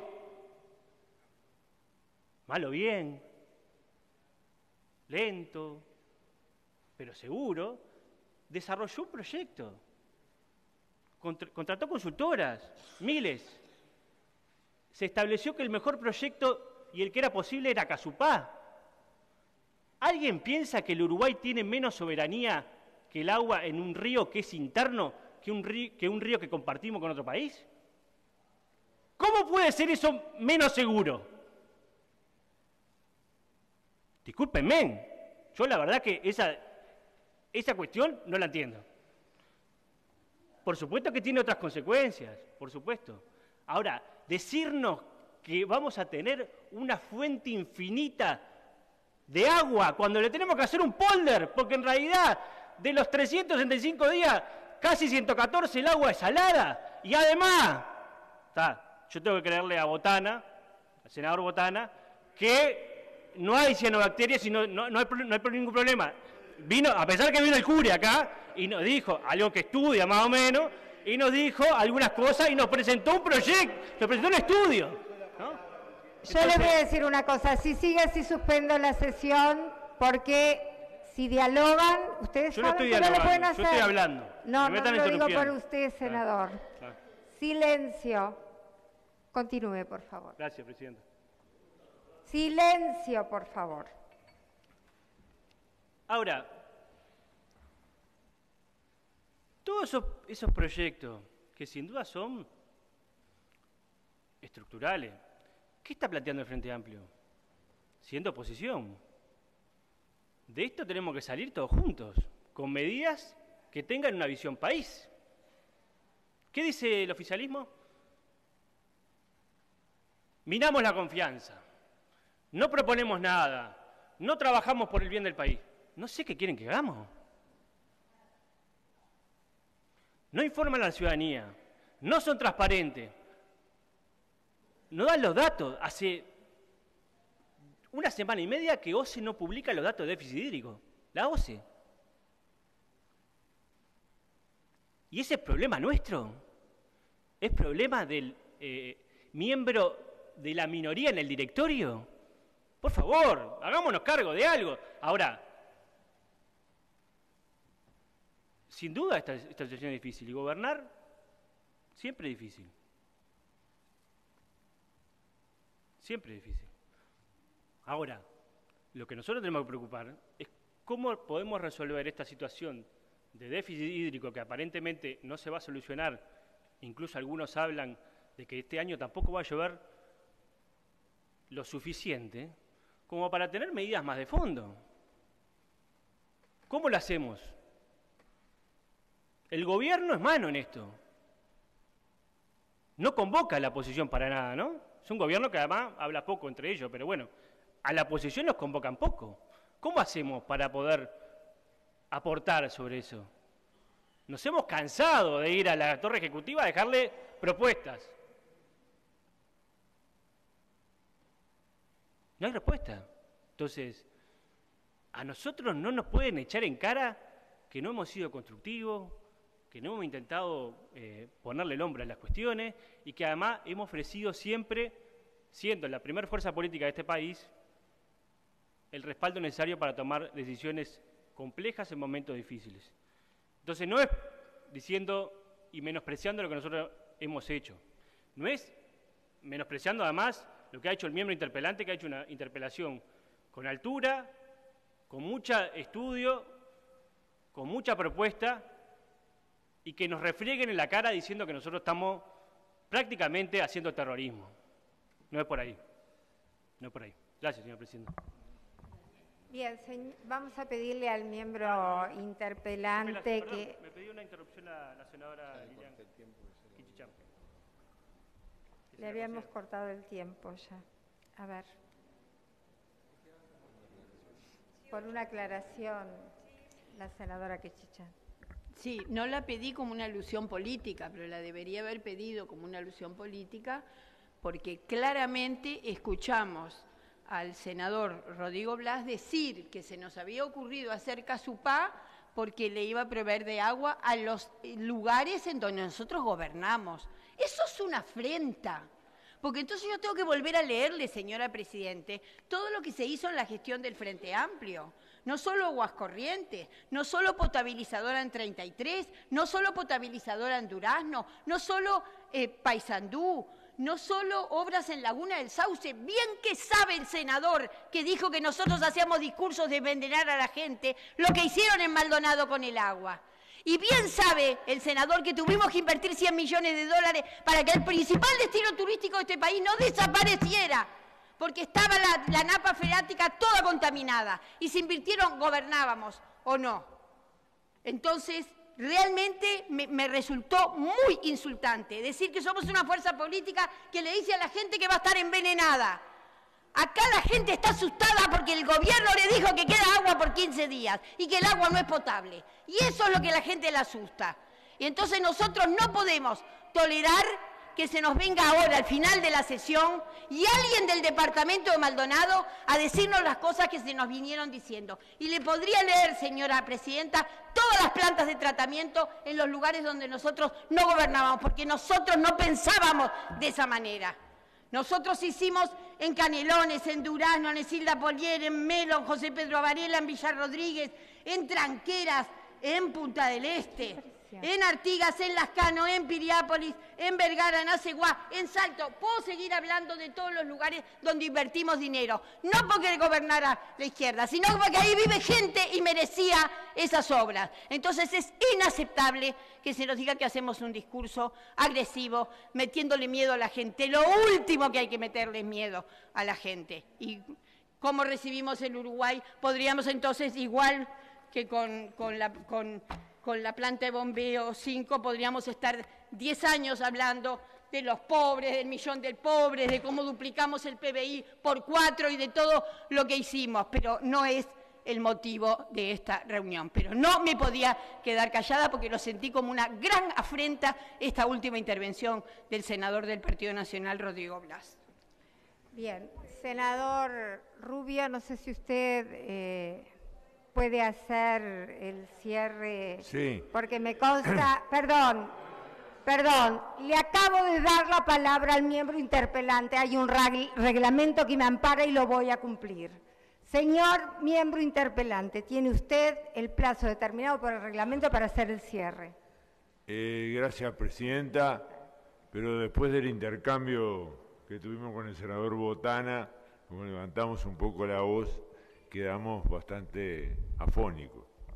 Eh, voy a emplear tres minutos. Nosotros eh, convocamos a los ministros y al directorio de OCE ante la falta de claridad de la información y los problemas de gestión de la crisis. Nos, eh, nos parecieron totalmente insuficientes las explicaciones. La crisis del agua se reconoció en octubre del 22 y a partir de febrero, en una época de altísima demanda, hubo 10 semanas de silencio, como lo señalé, de las autoridades. La población siguió consumiendo por un periodo, como si fuera un periodo normal. Las medidas que empiezan a adoptar se debieron tomar desde antes, probablemente desde octubre o noviembre. Esta crisis, con la sequía, a nuestro juicio, y yo no creo que esto insulte a nadie, se podría haber manejado de otra manera.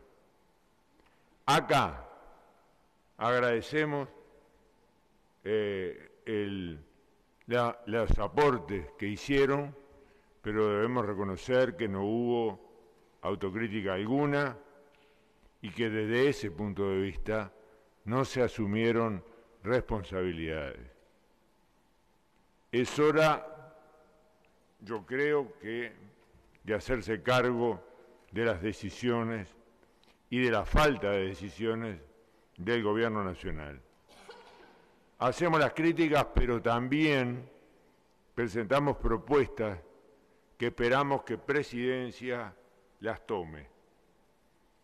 Además, en esta interpelación no clarificamos, no nos clarificaron tres puntos claves. Tres puntos claves.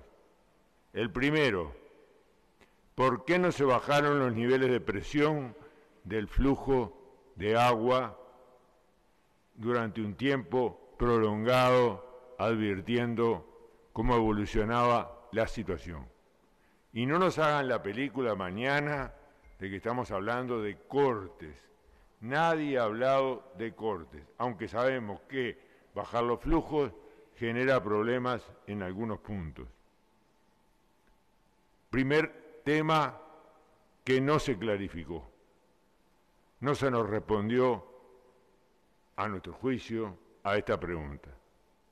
Segundo elemento, Desconocemos si hay un plan de contingencia y si lo hay, en qué consiste.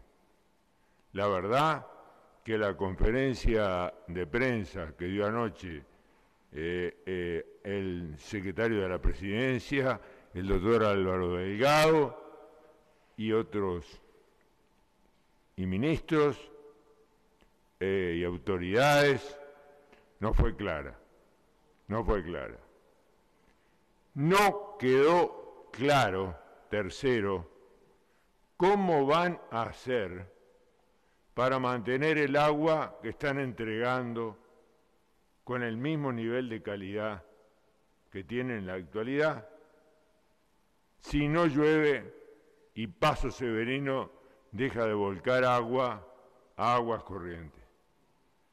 Yo consulté a varios ingenieros, algunos que trabajan en OSI y otros no, y este punto no fue informado, porque después de haber estudiado bastante este asunto, esa represa o terraplén, porque el volumen de inversión ha variado mucho, en la información se habló de 500 mil dólares, se habló de 20 millones de dólares, este, en realidad pensar, según lo que me han informado, que eso genera una masa de agua que compensa eh, este, y neutra, estabiliza, estabiliza.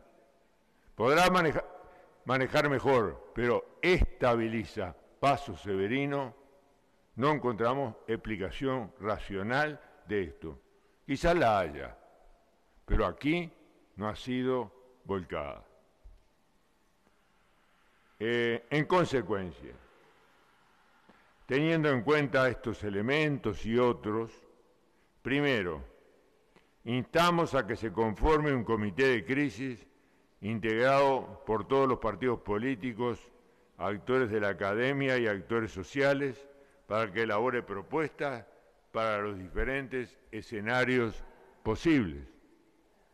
O que si el gobierno nacional ya los tiene resueltos, que comparta.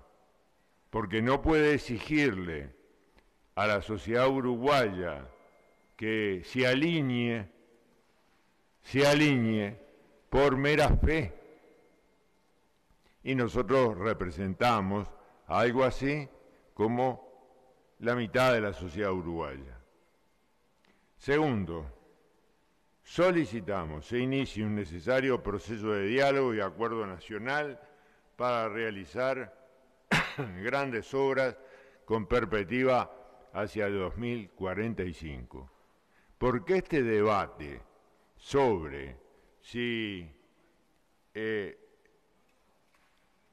una represa, eh, una planta en, sobre el río de la Plata o Casupá se debería dar en otros términos y en otros contextos. Y tercero, exhortamos al presidente que solicitamos se inicie un necesario proceso de diálogo y acuerdo nacional para realizar grandes obras con perspectiva hacia 2045. El segundo punto. Tercer punto, exhortamos al presidente, como se ha hecho público, de la República a relevar de su cargo al presidente y la vicepresidenta de OCE. Es todo, son nuestras conclusiones pueden generar reacciones varias, pero son las convicciones a las que hemos llegado. Muchas gracias, señora Presidenta. Como corresponde reglamentariamente, eh, los dos ministros eh, tienen minutos para su cierre. Lo que les voy a pedir es poder leer unas licencias que han llegado a la mesa previamente, si nos permiten. Procede a la lectura de las licencias. Señora Presidenta de la Cámara de Senadores, escribano Leticia Argimón, de mayor consideración, a través de la presente solicito al cuerpo que me conceda licencia, el amparo del literal D, artículo primero de la ley 19.906, por motivo de asistir a la conmemoración del 212 aniversario de la Batalla de las Piedras, el día jueves 18 de mayo a partir de las 8 horas. Sin otro particular, se ilustre muy atentamente el senador Amin Nifuri. Corresponde votar la licencia solicitada por la afirmativa, sírvanse a expresar. 25 en 26. 25 en 26 afirmativo. Queda convocado el señor Jorge Sarabia, quien ya ha prestado la promesa de estilo. De ese cuente otra solicitud de licencia llegada a la mesa. Señora Presidenta de la Cámara de Senadores, escribano Leticia Argimón, de mayor consideración, a través de la presente solicito al cuerpo que me conceda licencia por motivos personales para el día 18 de mayo de 2023 al amparo del artículo primero de la ley número 17.827 de 14 de septiembre de 2004. Sin otro particular, se usted muy atentamente, el senador Juan Sartori. Corresponde votar la licencia solicitada. Por la afirmativa, sírvanse en expresar. 25 en 26. 25 en 26 afirmativos, se comunica el cuerpo que los señores Salem García y Rosina Piñeiro han presentado nota de desistimiento informando que por esta vez no aceptan la convocatoria del cuerpo, por lo que queda convocado el señor Juan Estraneo, quien ya ha prestado la promesa de estilo. Dese cuenta de otra solicitud de licencia llegada a la mesa. Señora Presidenta de la Cámara de Senadores, es que van a Ortiz Argimón, de mayor consideración a través de la presente solicito al cuerpo me conceda licencia al amparo del artículo primero de la ley número 17.827 de 14 de septiembre de 2004 por el día 18 del corriente por motivos personales. Siento particular, solicito muy atentamente el senador Carlos Camí. Corresponde votar la licencia solicitada. Por la afirmativa, sírvanse en expresar. 25 en 25. 25 en 25 afirmativos, se comunica al cuerpo que el señor Dardo Sánchez ha presentado nota de desistimiento informando que por esta vez no acepta la convocatoria del cuerpo, por lo que queda convocada la señora María Dolores Álvarez, quien ya ha prestado la promesa de estilo. Ahora sí, tiene la palabra el señor ministro de Ambiente, señor Bouvier. Gracias, presidenta.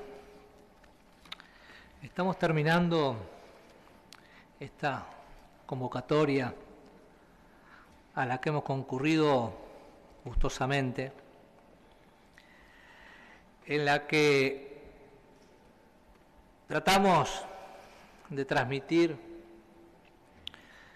lo que desde nuestro ministerio entendemos que debe ser una política de agua. Tratamos de explicar por qué optamos por una solución y no por otra. Y a su vez tratamos de explicar e insistimos que no eran antagónicas las soluciones, sino que eran complementarias. Y sobre todo tratamos de responder las preguntas que nos hicieron. Nos hicieron determinado número de preguntas, me pareció que le habíamos contestado, que por lo menos yo le había contestado en, en la, explicación que hice al principio, pero parecería que no, y después traté de contestarlas una a una. Entonces me parece que decirme que no contesté me parece que no de recibo. A su vez también, señora Presidenta, se nos ha dicho de que no escuchamos de que somos soberbios, de que tenemos los oídos tapados con respecto a toda la problemática que pasa. Yo quiero recordarles que fue quien habla, que convocó al intendente de Canelones, al intendente de Montevideo y al intendente de La Valleja para hablar de este tema. Que fue quien habla, quien fue receptivo a las propuestas que entregaron los diferentes intendentes que fue quien habla, quien llevó las propuestas al Poder Ejecutivo, que escucharon el otro día en la conferencia de prensa, que comprende unas cuantas de las que, presentaron los señores intendentes. Entonces tampoco me parece que es de recibo esto, señora Presidenta. Y por último, quiero decir que nuestro ministerio, como ya lo dijimos varias veces, el tema del agua es realmente importante. Y espero que este debate que estamos dando hoy, que puede ser circunstancial por el hecho que estamos dando de la sequía, del déficit hídrico, pero que tiene que ser muy superior, que tiene que, que, tiene que tratar del agua, del agua de manera integral. Espero que el cuerpo también, y quienes hoy eh, se dedican a analizar este tema, los señores legisladores, sean receptivos en el futuro en un debate amplio, en un debate que realmente contribuya a solucionar el problema que hoy todos admitimos que tenemos con el agua, que tenemos con las cuencas, que tenemos con el tema ambiental. Así que, señora Presidenta, este ministro está dispuesto a dialogar es receptivo a las propuestas de la oposición y de otros actores sociales que también participan en este proceso y está a las órdenes para lo que señores senadores dispongan. Muchas gracias, Presidenta. Ministro, señora ministra Rand. Muchas gracias. En mi caso, em, voy a hacer simplemente eh, un raconto de los puntos que hemos decidido este, expresar por parte de nuestra cartera para que quede redondeada la idea de lo que se ha hecho y lo que se ha considerado este, en esta situación ante los señores senadores este, presentes. El déficit hídrico es producto de una sequía sin precedentes en Uruguay. La necesidad de mantener la disponibilidad de agua obligó a tomar acciones que como consecuencia incrementaron los niveles de iones en el agua de OCE sin rebasar inicialmente los niveles de la norma. Se comunica y se coopera con los centros de diálisis por el aumento de la conductividad asociada a dicho aumento. Los niveles de sodio no sobrepasaron la normativa nacional hasta fines del mes de abril.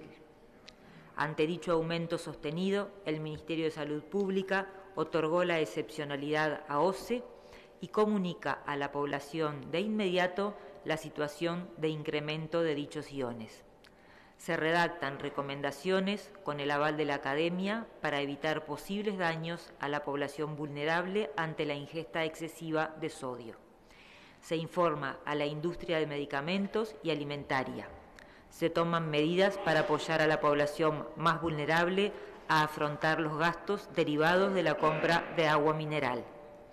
Y se reitera que el agua en las condiciones actuales es apta para el consumo humano, haciendo las consideraciones para la población vulnerable. Muchas gracias, señora presidenta. Muchas gracias, señores senadores. Gracias, señora ministra. Han llegado dos mociones a la mesa. En realidad vamos a proceder a la lectura por orden de llegada de la primera moción. Habiendo comparecido ante el llamado a sala los ministros de Ambiente y Salud Pública acompañados del presidente de OCE y sus asesores, a fin de que brinden informes en relación a la mencionada empresa pública en materia de inversiones, política de recursos humanos y fundamentalmente acerca de la gestión de la crisis hídrica y de sus consecuencias en cuanto a la disponibilidad de agua potable para el consumo humano, la Cámara de Senadores resuelve 1 dar por ampliamente satisfactorias las explicaciones vertidas en sala por los comparecientes, 2 destacar la respuesta a la totalidad de las preguntas presentadas por el miembro interpelante. Tres, respaldar las medidas y acciones anunciadas durante la convocatoria. Cuatro, reafirmar, como bien dijo la señora ministra de Salud Pública en sala, que el agua distribuida por OCE es segura para el consumo humano. Cinco, destacar que el Gobierno actual ha encarado como prioridad la implementación de la pendiente solución definitiva para el abastecimiento de agua potable del área metropolitana. Sexto, solicitamos a la población el uso responsable y solidario del agua. Séptimo, exhortamos al sistema político a seguir trabajando juntos proponer soluciones para continuar gestionando la sequía que estamos atravesando, transmitiendo confianza y certeza a la ciudadanía. Firman las señoras coordinadoras Irena Moreira, Graciela Bianchi y Germán Coutinho. Procedemos a votar la moción que se ha leído. Por la afirmativa, sírvanse a expresar. 17 en 29. 17 en 29, afirmativo. La segunda moción llegada es contraria a, la que ha sido aprobada, por la que no la vamos a someter a votación. Tengan ustedes muy buenas noches. Gracias a los señores ministros y al miembro del directorio de OSE.